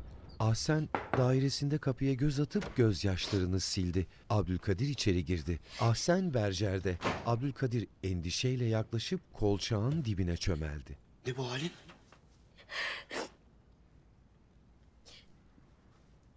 Ömer geldi. Ömer? Ha. Bir terbiyesizlik mi yaptı sana? Yok. Yok. O zaman ne bu halin? Hani sana gösterdiğim resim vardı ya. Yanında duran biri vardı. Ee? Ömer onu görmüş. Onu vurmuşlar. Gözyaşlarını siliyor. Abdülkadir kaygıyla düşünmekte. Yaşıyor muymuş? Bilmiyorum. Onun kim olduğunu da bilmiyorum. Hiçbir şey bilmiyorum. Tamam sakin ol. Üzülme sen artık. Merak etme ben senin için onun kim olduğunu öğreneceğim. Onu tanımadığını söylemiştin. Tanımıyorum zaten. Tanıyan birini biliyorum. Merak etme. Ahsen umutla bakıyor.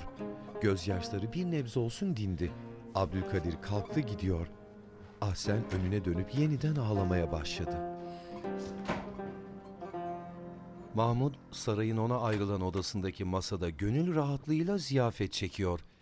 Muhafızın açtığı kapıdan Sabahattin girdi. Dik dik bakarak yaklaştı ve karşısına oturdu. Ne yapmaya çalışıyorsun sen? Ne yapmaya çalışıyormuşum? Samir'i nasıl vurdurtursun? Kötü mü oldu? Sokaklar çalkalanmıyor mu? Başka türlü de halledebilirdik. Müstehar isimle gazeteye yazdırırdık. Gençleri sokağa çağırırdık. Eğer bu iş gerçek olmasaydı baban şu anda dar ağacındaydı. But sıyırdığı kemiği tabağa bırakıp eline bir pirzola dilimi aldı. Hissi düşünme Sebahattin, hissi düşünme.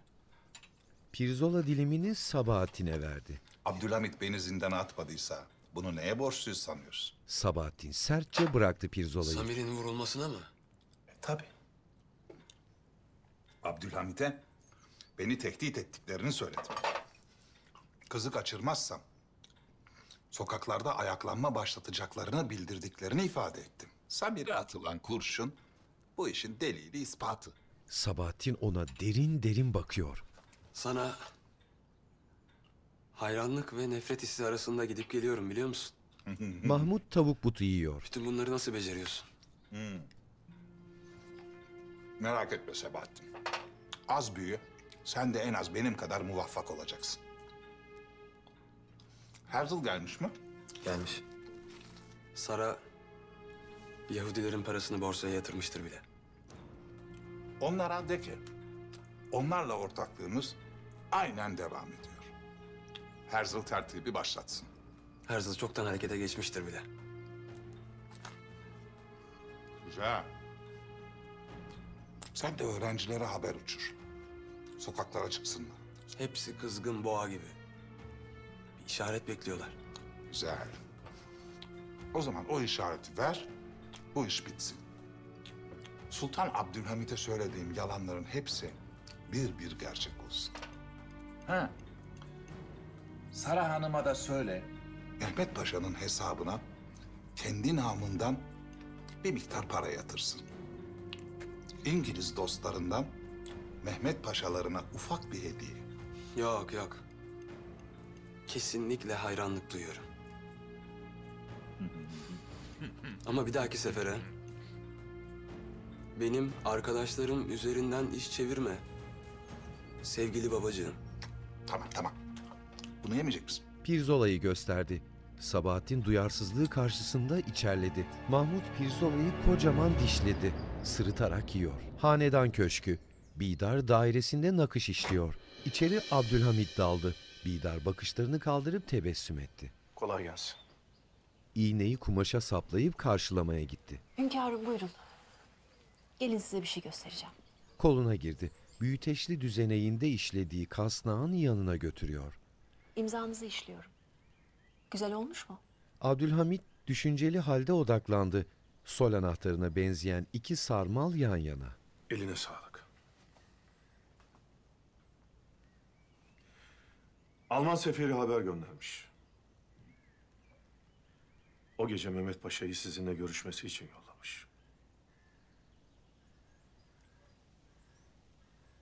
Evet hünkârım. Altın yaldız sarmalı bordo elbisesinin eteğini kaldırarak sandığa yaklaştı. İçinden hançeri çıkardı. Avuçlarında yatay tutarak Abdülhamid'in yanına döndü. Kardeşimin göğsüne bunu dayadım. Ve bize nasıl ihanet ettiğini sordum.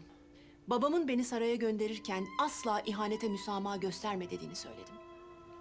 Lakin Mehmet Paşa o haldeyken bile hadiselerle alakası olmadığını söyledi bana. Hünkârım bana müsaade edin. Bugüne kadar ne söylediyseniz hepsini yaptım. Kardeşimi de kendi ellerimle sizin karşınıza getireceğim. Abdülhamit çatık kaşlarına rağmen ılımlı, yumuşak bakışlarıyla düşünüyor.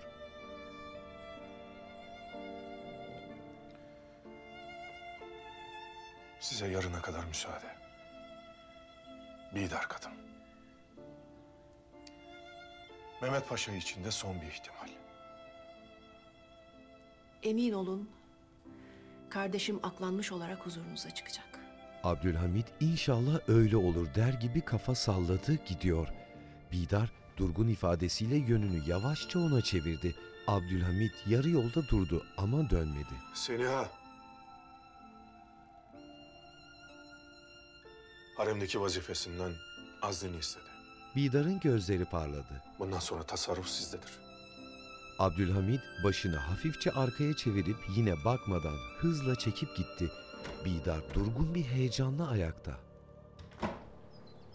Ömer'le Yusuf bir duvarın dibinde. İleride bir papazla konuşan Ferman'ı bekliyorlar. Sağlıcakla kal. Sen de ferman. Yollarını ayırdılar. Ferman gençlerin yanına geliyor. Taş bir kemerin altındalar. Ne diyor ağam tanır mıymış? Tanırmış. Sokakta bir zaptiye gezinmekte. İram'ı Vatikan atamış.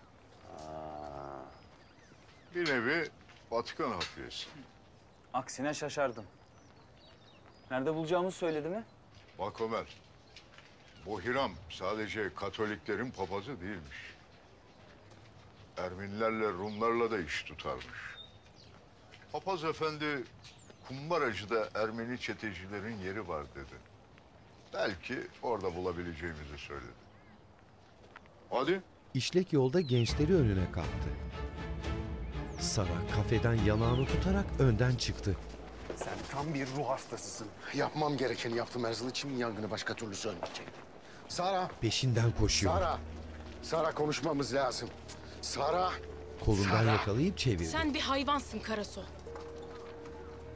Beni neden terk ettin Sara? Çok sevmiştim seni. Yıllar geçti. Ama içimdeki yangın bir türlü sönmedi. Beni vurdu. Ne öldüm, ne acısından kurtuldum. Ben her zaman için arkamda güç, başımda taç ve kolumda iktidar istiyordum. Onlar da sende yoktu Emanuel Karaso. Beni her ne için terk ettiysen bir gün hepsi benim olacak Sara. Yarın için yaşamam. Emin ol bu hayatta her ne istiyorsan hepsi ama hepsi bir gün mutlaka benim olacak Sara. O yüzden bugün eğer benim istediğimi yaparsan yarın pişman olmayacaksın. Beni Parvus'la tanıştır. Sara bozulup şaşkınca dikkat kesildi. Demek İstanbul'a benim için değil de Parvus'la tanışmak için geldin. Benim senin istediğin şeyleri elde etmek dışında başka hiçbir amacım yok. Laf cambazlığı yapma. Parvus'la tanıştır beni. Ne yapmak istediğimi ondan sonra göreceksin. Asla. Asla olmaz Karaso. Eldivenleriyle göğsüne vurdu gidiyor. Geriden yüzleri görünemeyen iki kişi onu izliyor. Birinin elinde kırmızı zümrüt taşlı gösterişli altın bir yüzük var. Karasu iç geçirdi. Sert bakışlarıyla Sara'yı izliyor. Yusuf Ömer'le Ferman'ın duvarının dibinde beklediği avludan panikle koşarak çıkıp aralarına çömeldi. Hem de ne ecinli Ferman'a. İçeride bomba hazırlıyorlar. Kocaman bir çanta gördüm. İçinde de dört köşeli dinamitler vardı. Başlarında da Hiram. Basalım inelim meselelerine. Ya nereye basıyorsun lan? Adamlar silahlı. Benim bileğim mermiye işlemez ama. Ha girelim diyorsan girelim. Nasip de varsa şehit de oluruz. Lakin bunlara mani olamadıktan sonra Ömer başıyla doğruluyor. Siz burada bekleyin. Çıkarlarsa takip edin. Ben saraya gidip haber vereyim. Ömer aceleyle ayaklanıp binanın köşesindeki kemerden sokağa döndü. İçeriden gelen bir isyancı Yusufları fark etmeden avlu kapısına yaklaştı. Yusuf'la Ferman duvarda yan yana kapıdan uzağa çekildiler. Bekliyorlar. Küçük mabeynin havuzunda bir gondol. Hünkârım. Sokaklar gazete haberleriyle çalkalanıyor. Talebeler mekteplerinde konuşuyorlar. Kahvehaneler çalkalanıyor. Talebelerin akşam sokaklara döküleceği jurnalleri geliyor. Ne yapacağız hünkârım? Abdülhamid ortada durdu, dikiliyor. Tahsin arkasında. Gazeteler akşam baskısı yapacağız. Tahsin Paşa. Şöyle bir havadis. Samir Efendi'nin vurulmasını tahammül edemeyen gençleri Nuri Osmaniye avlusuna davet ediyoruz. Tahsin amacını anlamaya çalışır gibi düşünürken Abdülhamit hışımla ona döndü. Dediğimi derhal yapınız. Emredersiniz hünkâr. Tahsin çekiliyor. Abdülhamit yeniden önüne döndü. Fatih Sultan Mehmet'in duvarda asılı yağlı boya portresine Benim bakıyorlar. meşguliyetim bitti. Seniha Sultan'ın da vazifesi. Hünkârımız tekrar tasarrufu benim almamı buyurdular. Çok şükür sultanım. Eşyalarınızı eski odanıza taşıyalım mı? Hayır. Salondalar. Fatma Pesent Hanım geliyor. Kendisi hamile olduğu için büyük odada kalması daha münasiptir. Ayrıca lüzum ederse beraber de kullanırız. Emredersiniz. Fehime ile Hatice neredeler? Cariyeler karşısında. Çağırdık. Lakin teşrif etmediler. Halbuki ben bütün harem ahalisini görmek istediğimi söylemiştim. Bir soralım bakalım. Niye teşrif etmemişler? Sen dur.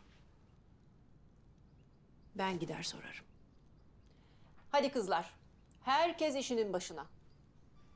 Zülfet meydanın ona kalmasıyla aslan kesilerek omuzlarını dikip başını kaldırdı. Evet kızlar.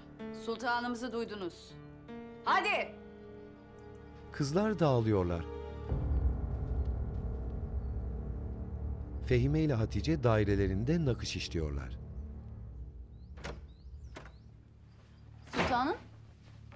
Hoş geldiniz. Kalktılar. Buyurun. Çok kalmayacağım. Teşrif etmediniz. Lakin haremin dairesi artık bendedir. Hatice içtenlikle onayladı. Zülfet Kalfa haberinizi getirmişti. Öyle mi? Haberi aldınız demek. Niye gelmediniz o zaman? Hatice'nin lafını ağzına tıktı. Siz bu haremin bir mensubu değil misiniz kızlar? Halanız sizi buraya davet ederken kaideleri öğretmedi mi size? Fehime mahcup, boynu bükük. Hatice bozulmuş. Hem- Sehpadaki dağınıklığa bakıyor. Bu odanın dağınıklığı nedir böyle? Henüz yerleşmedik de. Yerleşmeyin zaten. Siz eğer böyle ihmaller gösterecek olursanız çırağına geri dönersiniz. Belki babanızı da özlemişsinizdir ha? Bağışlayın sultanım. Özür dileriz. Hatice yalvarmasına bozuldu. Bir dahaki sefere daha dikkatli olun. Eğer burada kalacaksanız kaidelere itaat şart. Emredersiniz. Hatice boyun eğmesine iyice gıcık olup afallamış bakışlarını Bidar'a çevirdi. Bidar döndü gidiyor. Hatice Fehime'yi hışımla kendine çevirdi. Neden özür diledin? Kaideler varmış abla. Gitmemiz lazımmış. Ah Fehime benim saf kardeşim. Sen şimdi özür diledin ya. Bundan sonra Bidar'ın gözünde ne yapsan kabahat olacak. Ve sürekli senden özür bekleyecekler. Sadece bir özür. Hem bir dar sultanlığı geçinmemiz icap etmez mi? Fehime. Aptal gibi davranıyorsun. Sen o aklınla saray işlerine karışma. Anlamadığın harem siyasetinde öyle bir boğulursun ki... ...seni ben bile kurtaramam. Fehime yutkundu. Hatice üstünde nakış malzemelerinin darmadağın olduğu orta sehpanın yanından hışımla geçti gitti. Sözlerine içerleyen Fehime gözyaşlarını rahat bırakıp sinirle kapıdan tarafa döndü. Anlamıyormuşmuşum. Görürsün sen Hatice Sultan. Görürsün. Abdülhamid'in marangozhanede oyduğu ahşaba çiçek şekilleri veriyor. Gel. Celal girdi. Ömer kapının dışında bekliyor. Hünkârım, Ömer'in havadisleri varmış. Gelsin. Celal buyur diye içeri gösterdi. Ömer Abdülhamid'in karşısına geçiyor. Celal kapattı kapıyı. Ömer'le Abdülhamid tezgahın birer tarafındalar. Hiram'ı buldun mu evladım? Buldum hünkârım. Ermeni çetecilerle beraber bomba hazırlıyorlar. Anlat. Büyükçe bir bomba. Hedefi belli mi? Maalesef hünkârım. Silahlıydılar ve kalabalıktılar. Size gelip haber vermenin daha iyi olacağını düşündüm. Ama arkadaşları orada bıraktım. Gözleri üstünde. Celal. Askerlerle hazırlan. Baskın yap. Emredersiniz. Abdülhamid'in izniyle geri geri kapıya çekiliyorlar. Sen kal. Ömer Efendi. Ömer şaşırıp birkaç adım ilerledi. Tedirgin, kaçamak bakıyor. Abdülhamit ciddiyetle uzun uzun gözlerine baktı. Sonra soldaki tezgaha yönelip sedefli ahşap bir kutu aldı. Çalışma tezgahına geri döndü. İçinde bir tabanca var. Kutu odasındakinden daha yeni ve içi kırmızı kadifeyle kaplanmış. Adamlar silahlıdırlar. Sen de defaatle onların karşısına çıktın. Al evladım. Tabancayı uzattı. Nefsini ve devletini muhafaza etmek için çekinmeden kullan. Al. Ömer elini ilk defa bir tabancaya değiyormuş gibi tereddütle aldı. Bakıyor. Şu belalardan kurtulalım. Seninle atış talimi de yaparız. Abdülhamit başıyla da tasdikliyor. Kutudan bir de kese çıkardı. Onu da Ömer'e uzattı. Kurşunlar. Ömer onu da aldı. Gergin ve düşünceli bakışları tabancada.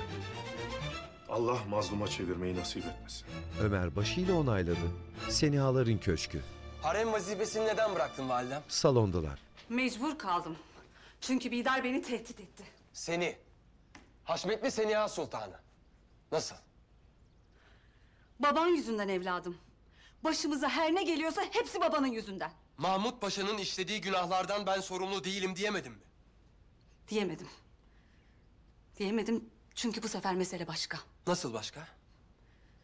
Hani şu haremde ölü bulunan kız vardı ya. Ee? O ölmemiş Sabahattin, yaşıyor. Sabahattin dehşete düştü. Bidar kızı bulmuş, sonra hastaneye götürmüş. Kız iyileşmiş. Ve Bidar'a kendisini yaralayanın baban olduğunu söylemiş. Ya, şimdi o da beni tehdit ediyor. Senin de ismini verebilir diye. Sabahattin hışımla ayaklandı. kızışıyor validem. Babam tam kendisini şüphelerden kurtaracak derken... Kız mahkemede kimin ismini verirse haini olacak. İşte bu yüzden derhal o kızı bulmalıyız Sabahattin. Sen bir an önce git şehzademizin ağzını ara. Kızı nerede tutuyorlarmış öğren. Zaten beni saraya çağırtmış. Gidelim bakalım.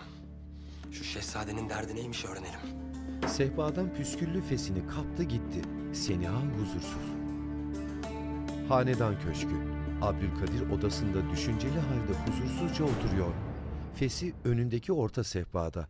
Odaya Bidar daldı. Sen miydin? Bidar haline dikkat kesilip yanındaki bordo döşemeli berjere oturdu. Başka birini mi bekliyorsun? Sabahattin gelecekti. Güzel. Hayret. İlk defa Sabahattin'den bahsedince güzel dedim. Evet. Çünkü senden bir şey isteyeceğim şehzadem. Neymiş o? Sabahattin geldiği zaman kızı tuttuğumuz hastanenin yerini söyleyeceksin Abdülkadir. Hani kız iyileşene kadar saklı tutacaktık? Saklı tutacağız tabii. Lakin Seniha'nın bu işin içinde olup olmadığını öğrenmemiz lazım. Ben Sabahattin'e söyleyeceğim. O da annesine. Aynen öyle. Eğer Seniha kızı almak için harekete geçerse... ...onun da bu ihanetin içinde olup olmadığı meydana çıkacak. Bidar gidiyor. Oda dikdörtgen.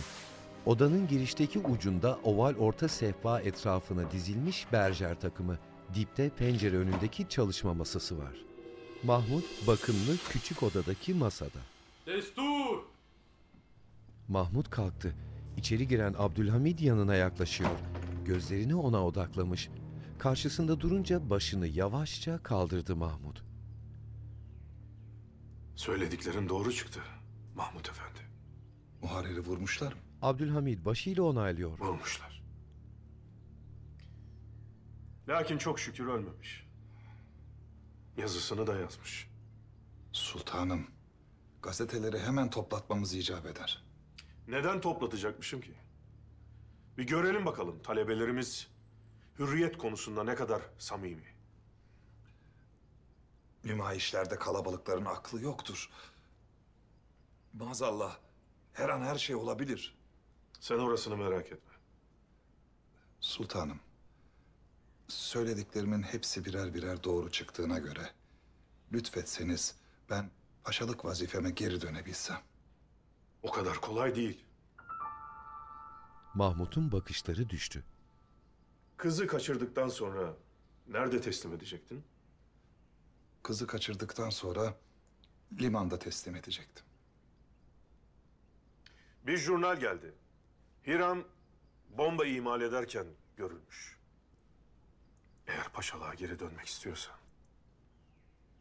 ...bombayı nerede infilak ettireceklerini öğreneceksin.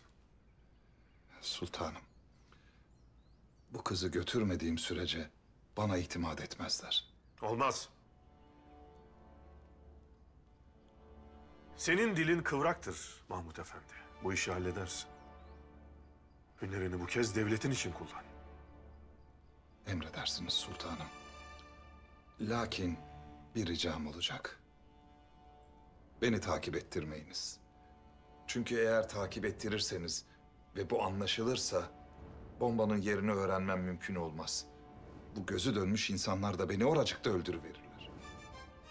Sen hep bir şekilde kurtulursun Mahmut Efendi. Mahmut tırstı. Takip edilmeyeceksin. Rahatladı Mahmut. Bombanın yerini öğrenin kafi. Emredersiniz.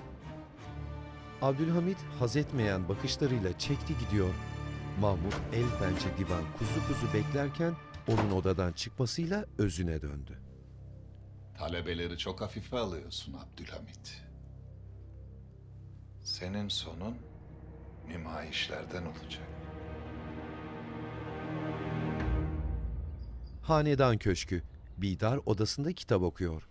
Bu meseldir ki eden kimse bulur, daima hain olan haif. Karşısında dikilen Fehime'ye bakıyor. Haif nedir sultanım? Korkak demektir. Gel otur şöyle yanıma. Söylemek istediklerin varmış bana. Bidar duvarı kaplayan kırmızı kadifeli sedirde yanına buyur etti. Nakışını işlediği zamanlar sedirin pencere tarafında oluyor. Kasnak düzeneği pencerenin önünde. Al bu kitap sende kalsın okursun. Teşekkür ederim sultanım. Fehime hevesle göz atıyor.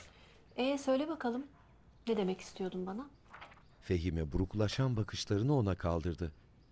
Sultanım, ben artık ablamın tavırlarından da, halamın nasihatlerinden de çok sıkıldım. Bidar etrafı pırlantalarla işli kırmızı zümrüt küpe ve kolyesiyle yanına sokuldu. Sana galiba küçük kız muamelesi yapıyorlar öyle mi? Evet sultanım. Halbuki içlerinde en akıllısı da sensin. Teşekkür ederim.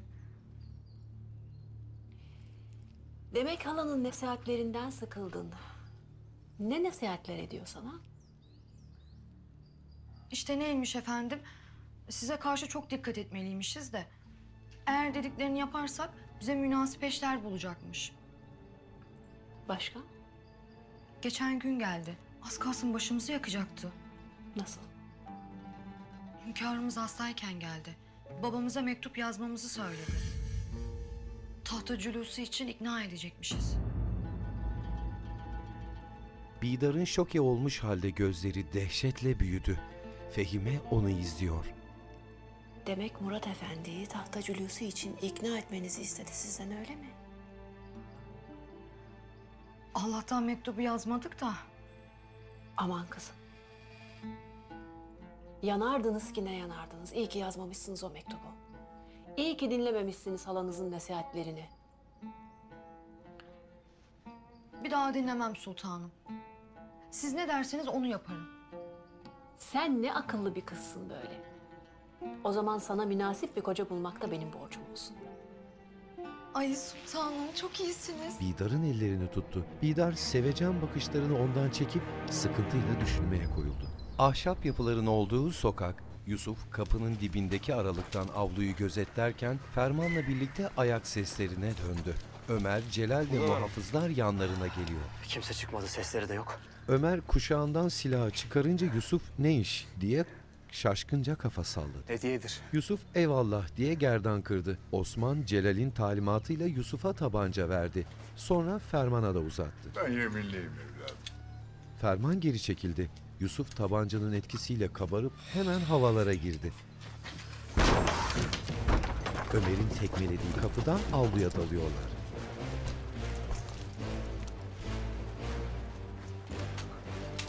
Oğlum hani çıkmamışlardı? E burada kapı varmış. Soldaki başka bir avlu kapısı açık. Etrafı arayın. Beyaz ceketli muhafızlar kemerli sundurmaların altından binanın yan yana kapılı odalarına giriyorlar. Bombanın hazırlandığı odaya Ömer, Yusuf, Ferman ve Celal peş peşe girdiler. İçerisi boş. Ulan yine kaçırdık be! Masaya vururken Yusuf yerden bir kağıt aldı. Celal yanına yaklaştı. O da göz atıyor. Harita. Topla, topla, topla, topla. Yerdeki diğer parçaları da toplayıp masaya koydular. Ferman yanlarına yaklaşıyor. Gençler parçaları birleştiriyor. Tren yolu güzergahı bu. Hususi olarak işaretli bir yer var mı? Yok. O zaman Sirkeci'den Edirne'ye kadar iz süreceğiz. Osman yanlarına geliyor. Etrafta kimse yok. Sen git saraya haber et. Patlamanın tren yolunda olacağına dair malumat var. Emredersiniz. Yürü koş. Biz de atlarla tren yoluna gidelim. İlla bir yerde buluruz. İnşallah bomba infilak etmeden önce buluruz. İnşallah, inşallah. Şu Samir Efendi'nin yazısı varmış. Hangi gazete? Şurada. Muhbir. Mahmut etrafı kollayarak bir gazete büfesine yaklaştı. Bir muhbir gazetesi versene. Ne sattık be? Akşam nüshası da çıktı abi onu da vereyim mi? Ver, ver, ver. Gazeteleri alıp önüne attı parayı. Yazıyor! Cayır cayır satıyor! Yazıyor! Yazıyor! Samir Efendi'nin akan kanı için akşam ezanından evvel Nuru Osmaniye Camii'nin avlusunda toplanıyoruz. Bunu sen mi ayarladın? Yok. Tabiatıyla gençlerden birileri ayarlamıştır. Kendi teşkilatlanmaları. Hala. Nasıl çıktın saraydan? Hünkârımızın izniyle. Herzl'la buluşmaya gidiyorum. Sabahattin koluna girerek kaldırımın ucuna çekti. Sana kötü bir haberim var. Hayırdır? Bıçakladığın kız vardı ya. Ee? Yaşıyor. Nasıl? Nasıl yok? Vidar annemi bir hastaneye götürmüş. Kızı göstermiş. Yani ben bu cenderenin içinden çıkmak için bin bir türlü meşakkatle uğraşıyorum. Karşıma bir de hortlaklar çıkıyor. Bak Sebahattin. Bugüne kadar bütün işlediklerim delir sayılmaz. Ama bu şişko kız bir konuşursa mahkumiyetim olur. Merak etme. Validem de meselenin farkında. Benden kızın yerini öğrenmek için Abdülkadir'i konuşturmamı istedi. Kızı kaçıracak. Demek mahkum olmamam için Seniham kızı kaçırmaya karar verdi. Sebahattin. İşte şimdi tam bir aile olduk. Pek öyle değil. Vidar annemi tehdit etmiş. Vidar'ın tehditlerinden kurtulmak için çabalıyor. Olsun. Benim için olmasa da olsun. Sen gene de annenin kızı kaçırmasına yardımcı ol. Hadi vazife başına. Kızı kaçırdık diyelim. Sonra ne olacak? Sebahattin. O kız yaşadığı sürece babanın kellesi cellatın ellerinde demektir. Şimdi anlat. Mahmut gidiyor. Sabahattin öfkeli bakışlarını ona dikti. Yerinden kımıldamadan izliyor. Karşı kıyıdan Pera. Gençler ellerinde gazetelerle caminin avlusuna giriyorlar. Kimisi gazeteleri, kimisi yumruklarını sallıyor.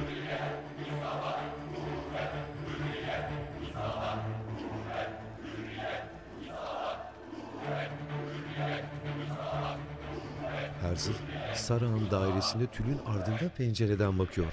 Mahmut koltuğa oturmuş. Bu kadar korkmayınız Bay Herzl. Sultan sizi takip ettirdiyse burada fare gibi kapana kısıldık demektir paşam. Endişelenmenize gerek yok. Sultan Abdülhamit aslan avlayacağı zaman kuyruğundan tutmaz. Bütün gücüyle boğazına yapışır. Herzl kendini endişeyle çaprazındaki berjere bıraktı. Ee? Şimdi ne yapıyoruz? Süratle bir karar alıp süratle harekete geçmemiz icap eder. Borsa işi tamam. Yakında sultanın parası elimize geçecek. Ala. Yalnız ani bir manipülasyon olması gerekir. Evet, o işi bana bırakın. Rumeli şirketinin makinelerini taşıyan treni Hiram infilak ettirecek. Hala. Bomba infilak edince de demiryolu hisseleri pula dönecek. Sonra da sizin oyununuzla şah çekeceğiz. Hiram bana bahsetti. Gazeteci Samir'i Abdülhamit namına siz vurdurmuşsunuz. Talebe ayaklanması için.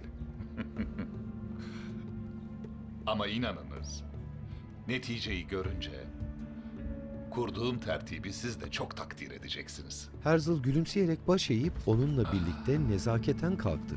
Al. Lütfen içerideki hürriyet gazisine de geçmiş olsun dileklerimi iletiniz. İletirim. Ama bir gaziyle hürriyet gelmez. Şehitlere ihtiyaç var. Elbette Bay Herzl, elbette. Talebeler sokaklara çıktığında ve yumruklar havaya kalktığında ve kan kızdığında, o vakit geldiğinde Bay Herzl, inanınız bana akan kanı Çin Seddi bile durduramayacak. Her yerde duyuyorum, görüyorum. Buradaki gazeteler çok renkli. Harfleri çok büyük. Gençlerin dilinde öfke. Bu mükemmel. Bu mükemmel. Tokalaştılar. İsyancılar ortada caminin kapısına doğru durmuşlar.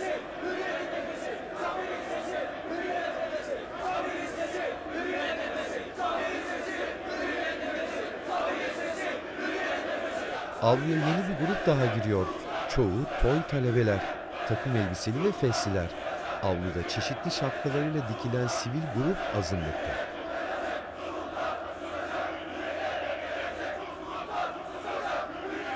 Bıyıklı coşkulu bir genç yüksek bir basamağa çıkmış onlara öncülük ediyor. Geriden gelen sarıklı yaşlı bir adam sivil adamlardan birinin omzuna dokundu. Sultan susarsa devlet çeker densiz de. Hey, Moriki. Çekil şuradan. İtti. Yoksul giyimli yaşlı adam çekilip vahametle kafa salladı.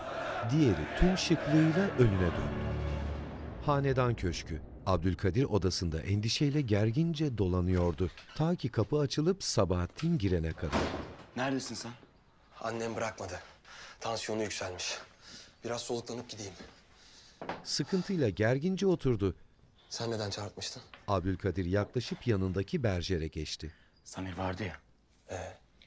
Ah senin üstünden fotoğraf çıktı. İkisinin manzaranın önünde bir fotoğrafı. Samir'i ona getireceğimi vaat ettim. Lakin korkuyorum. Samir'i getiremezsin de. Neden korkuyorsun?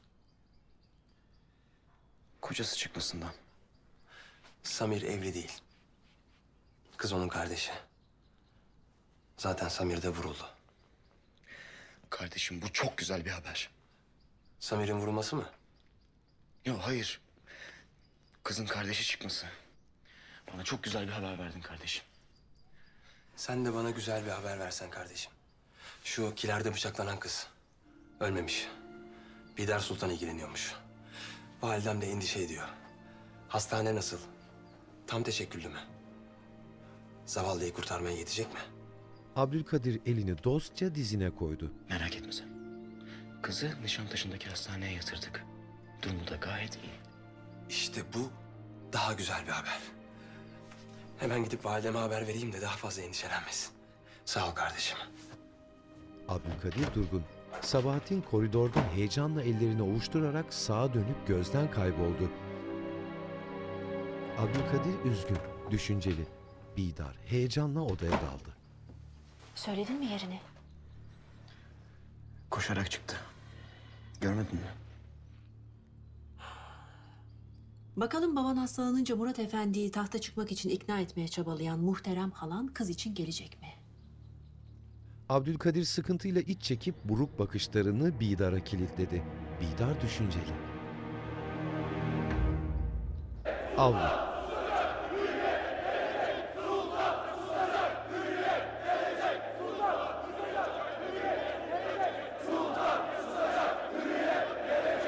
Abdülhamit basamaktaki gencin arkasında belirdi. Sultanın sesini kesmeye geldik. Genç arkasını dönüp Abdülhamit'le yüz yüze geldi. Telaş da yerine çekiliyor. Tahsin'le Osman Abdülhamid'in arkasındalar. Abdülhamit kızgın bakışlarını kalabalığa gezdirerek basamağın ucuna karşılarına yaklaşıyor. Aynı tempoda peş peşe Tahsin'le Osman da yürüdü. Huzur istiyoruz padişahım. Adın ne evladım? Haluk. Talebe misin? Tıbbiye şahanede okuyorum. Okuduğun mektebi kim açtı evladım? Haluk başını utançla eğdi. Peki sen? Mühendishane-i Hümayun'da tahsil görüyorum padişahım. Memleketin mekanik kabiliyeti gelişsin diye o mektebi kim açtı evladım? Onun başı da eğildi. Bizim saltanatımızda payitahtta kaç gazete vardı? Şimdi kaç gazete var? İstanbul'dan Berlin'e trenle kaç günde gidilirdi? Şimdi üç günde gidilir. Hürriyet istersiniz. Hür değil misiniz? Bizim saltanatımızda isteyen camisine gider, isteyen için en büyük kiliseler hür, Türk'ü, Kürd'ü, Boşnağı, Arnavut'u, Rum'u, Ermenisi, Çerkezi. Hangi milletin huzuruna dokunulmuş devletimizde? Size hürriyet fısıldayanlar ne ister peki? Bu milletler yıkılsın, isyan etsin, ayaklansın isterler. 600 yıllık devletimizi yıkmak isterler. Mekteplerinizde bu milletin refah için çalışmak yerine sizi sokaklara dökmek isterler. Benim saltanatımda kimin canına dokunulmuş ki bir muharririn canına kastedeyim? Peki, Garb'ın uşakları bizim canımıza kastettiği zaman neden sokaklara dökülmediniz? Talebeler utançla dinliyorlar. Sizler benim göz bebeğimsiniz. Mekteplerinizde bu milletin ferahı için, refah için, yükselmesi için canla başla çalışacaksınız. Lakin unutmayın, şu dört esasdan biri yıkılırsa devlet yıkılır. Mühendislik okuyan talebe gibi bir başkasının da gözleri yaşarmış. Dini İslam, hanedanı saltanatı seniye, hükümeti Türkiye, payitahtı İstanbul. Haluk yumruk havada kalabalığa döndü. Padişahım çok yaşa!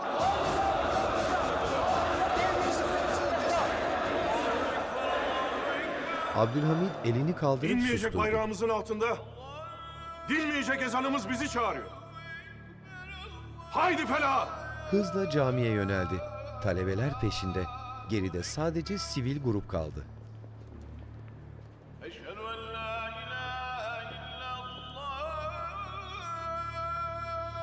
Akşam vakti. Kuş bakışı koru içindeki Yıldız Sarayı. Ahsen Melike merakının heyecanıyla Abdülkadir'i karşılamaya koştu. Bir malumat edindiniz mi? Evet. Bu havadis beni mesut etti. Seni de edecek. Söyleyin hadi. O fotoğraftaki kardeşinizmiş. Adı Samir. Samir. Sesler zihninde yankılandı. Yığılacak gibi oldu. Abdülkadir'i Ne oluyor? tuttu. İyi misiniz? Ahsen başı dönmüş gibi yavaşça berjere oturdu. Abdülkadir endişeyle yanına çömeldi. Ne oluyor? Bir ses hatırladım. Bir adam. Bir adam vardı. Çaresizdi. Hatırlıyorum. Bir adamın Samir Melike diye bağırdığını hatırlıyorum. Başka? Başka bir şey yok. Sadece bir ses. Melike. Melike. Kim? Pakize telaşla vagona girip Fatma'nın yanına çömeldi. Kolunu ve omzunu tutuyor. Hizmetliler geride. Az daha dayanın sultanım. Birazdan bir istasyonda duracaklar. Köylülerden çoğu çiçeği aldıracağım. Biraz sancılarınızı azaltır. Bebeğim, bebeğime bir şey olmasın Pakize. Hünkârımın evladına bir şey olmasın lütfen. Dua edelim sultan. Dua edelim de olmasın. Ah. Kuş bakışı koru içindeki Yıldız Sarayı. Küçük çalışma odası. Hünkârım, beni Celal Yüzbaşım gönderdi. Vaziyet nedir? Biz gittiğimizde adamlar firar etmişti hünkârım. Bir iz bulundu mu? Harita parçaları bulduk hünkârım. Nereye işaret ediyor? Rumeli tren yolu hattını işaret ediyor. Çektiği tespihin ipini öfkeyle koparınca Tahsin şaşkınca endişeyle baka kaldı. Abdülhamit ona göz atıp önüne döndü. Dehşetle düşünüyor. Tahsin Paşa. Fatma Pesent Hanım da o trenle geliyor. Tahsin'in endişeyle kaşları çatıldı. Abdülhamit hışımla ayaklanıp çıkışa yöneldi. Kuş bakışı koru içindeki Yıldız Sarayı. Mahmut sarayda kaldığı odaya girmiş. Paltosunu askıya asıp masaya yöneldi. Yarı yolda kalan Mahmut kapıya döndü. Abdülhamid'i selamlıyor. Masanın karşısında iki berjerle ara sehpa var. Sokaklarda durumlar nasıldı? Talebeler henüz sokağa inmemişler sultan. Ama ben çok korkuyorum. Korkmayınız. Talebelerle ikindi namazındaydık. Mahmut garipsedi. İsminiz geçti sohbet sırasında. Bazı talebeler sizi tanırmış. Doğrudur. Darülfünun'da birkaç ders vermiştim.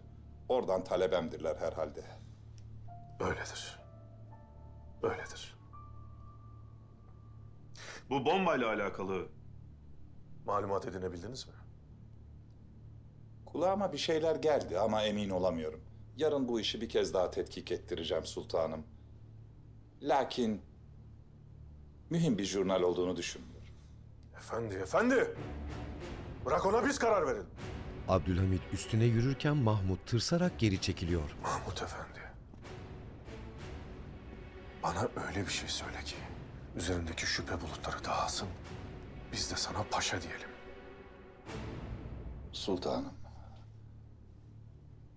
Ben bombayı infilak ettirecekleri yeri tahmin edebiliyorum. Anlat. Tahminimce Rumeli demiryolu güzergahı üzerinde bir yere bombayı koyacaklar. Ama tam olarak neresi ben de bilemiyorum.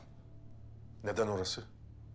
Bu Hiram alçağı yardım paralarını demiryolu şirketinin hisselerine yatırdığımı öğrenmiş. Bunlar borsada istikrarsızlık yaratmak, biraz da para kazanmak maksatlı yeni makineleri getiren treni payitaht yakınlarında infilak ettirecekler. Abdülhamid nemlenen gözlerini hüzünle boşluğa çevirdi.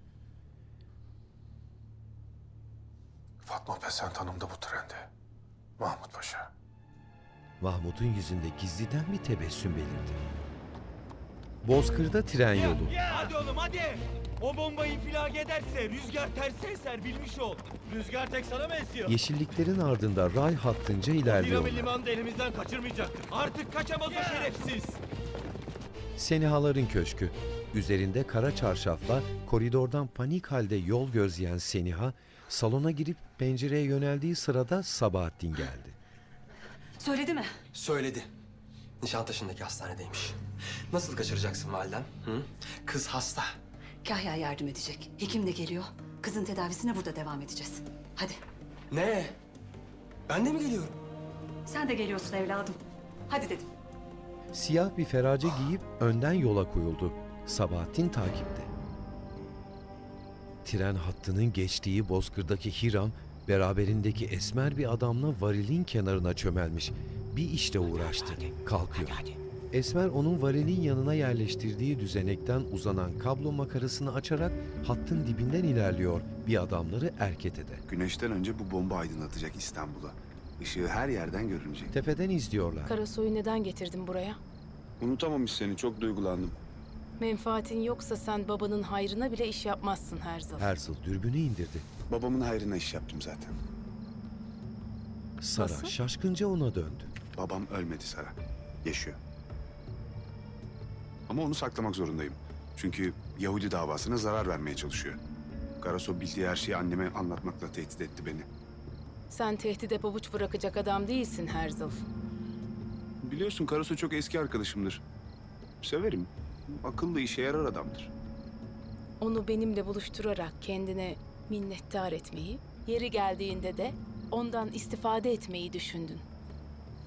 Siz birbirinizi çok seviyordunuz. Belki bir gün yeniden. İmkansız. Neden? Güce ve iktidara sahip olmanın bedelleri vardır. Şeref, namus ve ahlak. Onları tek tek feda etmek gerekir. Acıyla yumduğu buğulu gözlerini açtı. Ben de ettim. Herzl onun duygusallığından etkilenmeden dürbünü gözlerine kaldırıp bomba işlemlerine odaklandı. Hiram varildeki düzenekten uzanan kablonun ucunu biraz ilerideki varilin yanına sabitliyor. Variller hattın dibinde. Kuş bakışı koru içindeki Yıldız Sarayı. Naime giriş kattaki salonda pencereden sabırsızca yol gözlüyor. Kemalettin'in elinde bir kağıtla bahçeden geçtiğini görüp heyecana kapıldı. Cariyelerden biri geniş vazoda getirdiği taze gülleri masaya bırakıyor. Naime ona döndü. Gülfem. Bana gelen mektup falan bir şey var mı? Haber mi bekliyorsunuz sultanım? Yo. Gülfem gidiyor. Yirmilerinde kumral çekik gözlü bir kadın. Şu rüzgar. Asla götürse hicranımı.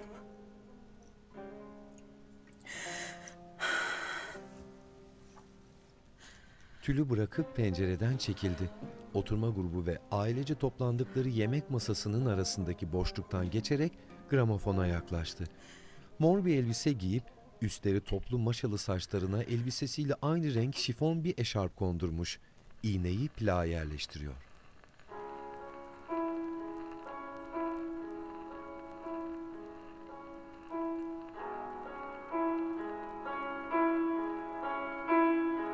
Gramofonun başında hüsranla dikiliyor. Ruh gibi haliyle ağır ağır yürüyerek dairenin koridoruna çıktı. Çıkış kapısına ilerliyor.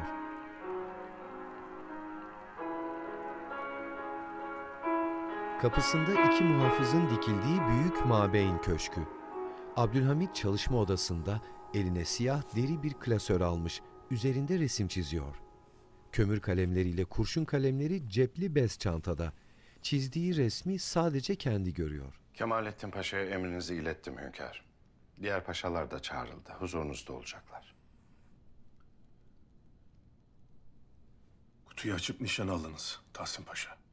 Tahsin kolyenleri ve yakası altın yaldızlı sırmayla işlenmiş üniformasıyla masanın önüne dolandı. Açıp aldı nişanı. Bir sonraki adım için emir bekliyor. Mahmut Paşa'yı da çağırınız. Tahsin şaşırdı. Emredersiniz hünkâr. Abdülhamit çekilebilirsin diye el etti. Resim çizmeye devam ediyor. Gramofondan yukarı kayılarak hemen yanındaki kapıdan giren Ahsen göründü. Gözyaşları dinmiş ama hala buruk. Gramofonun yanında durdu. İç çekiyor.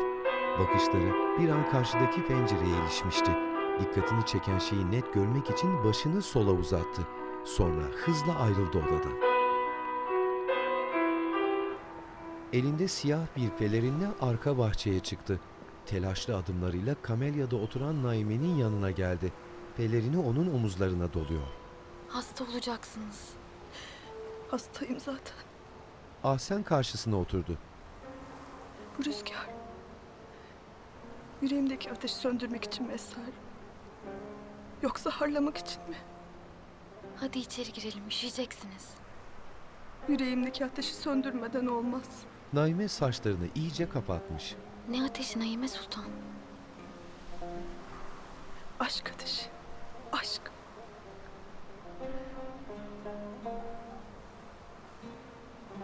O ateşi bu rüzgar söndürmez sultanım. Hadi lütfen artık içeri girelim. Ben ona mektup yazdım. Bir cevap dahi vermedi. Halbuki ben ona duygularımı tutamayıp mektup yazdım. Ne rezilce ama. Sırrımı ifşa ettim ben ona. Kime? Ona. Kemalettin'e. Ahsen içi burkularak bakıp bankta ona doğru kaydı. Hadi. Hadi gelin. Elini sırtına koyup eşlik etti. Birlikte gidiyorlar. Meclis nişanını eline vermek yerine masaya koyan Tahsin, mum ışıklı masanın kenarında Mahmut'la karşı karşıya. Tahsin ellerini arkasında bağladı. Gözlerini hoşnutsuzca onunkilere dikti. Tahsin Mahmut'un Paşa. kılı kıpırdamıyor. Bu nişanı benden sultanımız aldı. Sultanımız geri versin. Tahsin yan ağız gülümseyip nişana baktı. İsterseniz talihinizi fazla zorlamayın Mahmut Paşa. Mahmut alayım bari diye ağırdan alıp heveslisi değilmiş gibi yavaşça uzandı. Ceketinin göğsüne takıyor. Tahsin Paşam.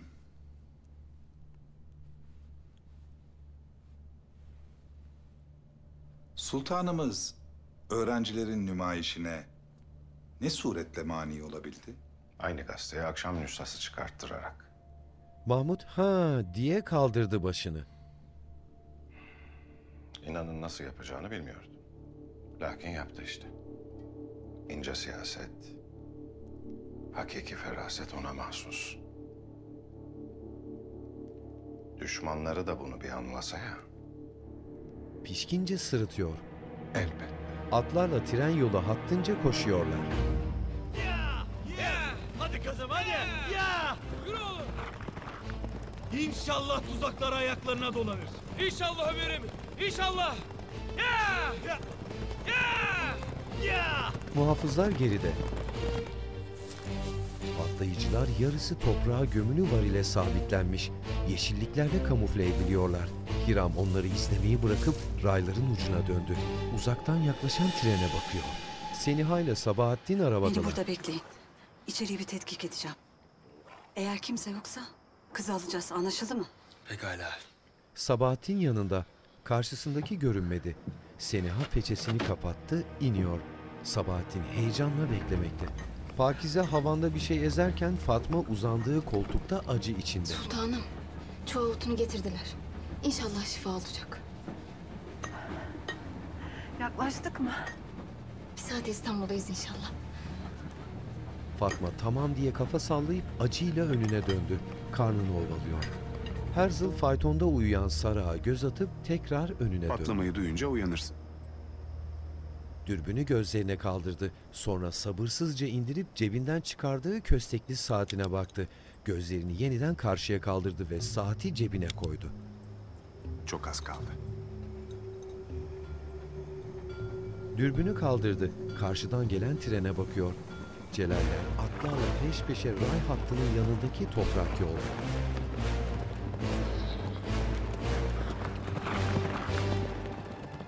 Rum Hastanesi'nin ön cephesi. Seniha hastanenin boş koridoruna adımlarını sayar gibi gözleri kapalı girdi. Sonra durup keskin bir hareketle sağa döndü. Gözlerini açtı. Koridorun sağa kıvrılan ucuna bakıyor. Hareketlenip adımlarının hesabını tutmadan koridorun ucuna yöneldi. Ortalıkta kimseler yok. Kapıların arasındaki minik raflarda gaz lambaları yanıyor. Kapılar gibi duvarların alt kısımları da gri. Seniha sağa kıvrılmadan daha önce beklediği yerde koridorun sonunda durdu. Duvarın beyazla gri arasında yatay geçiş sağlayan çıkıntısına dokunup duvarı tanıdı. Büyük Mabeyn, Abdülhamid masasında gayet sakin bir şekilde resim çiziyor. Paşalar yarım ay şeklinde karşısına dizilmiş. Mahmut takım elbisesiyle içeri girdi. Yaklaşıyor. Abdülhamid elindeki deri klasörde çizdiği resmi sadece kendi görüyor. Abdülhamid işine odaklı.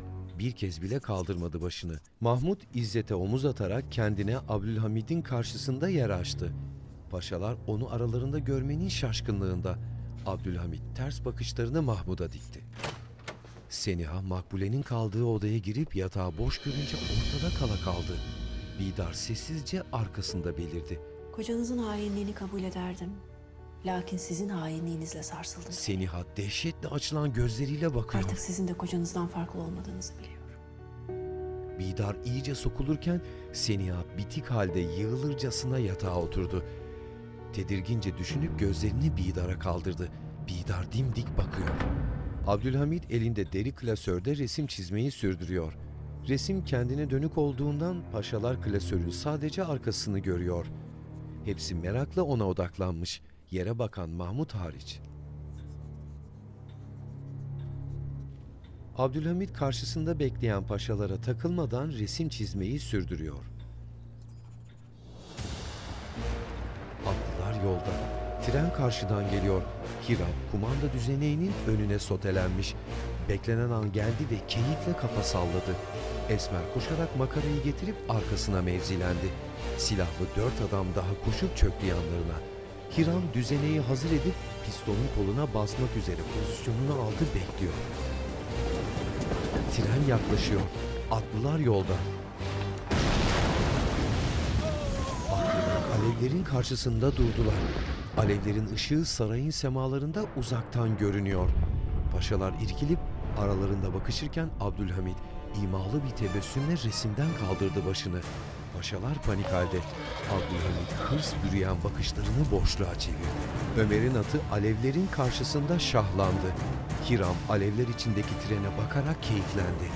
Abdülhamit resim çizme pozisyonunu bozmadan nefret dolu bakışlarını karşıya dikmiş. Kılı bile kıpırdamıyor. Zaman dondu. 5. bölümün sonu.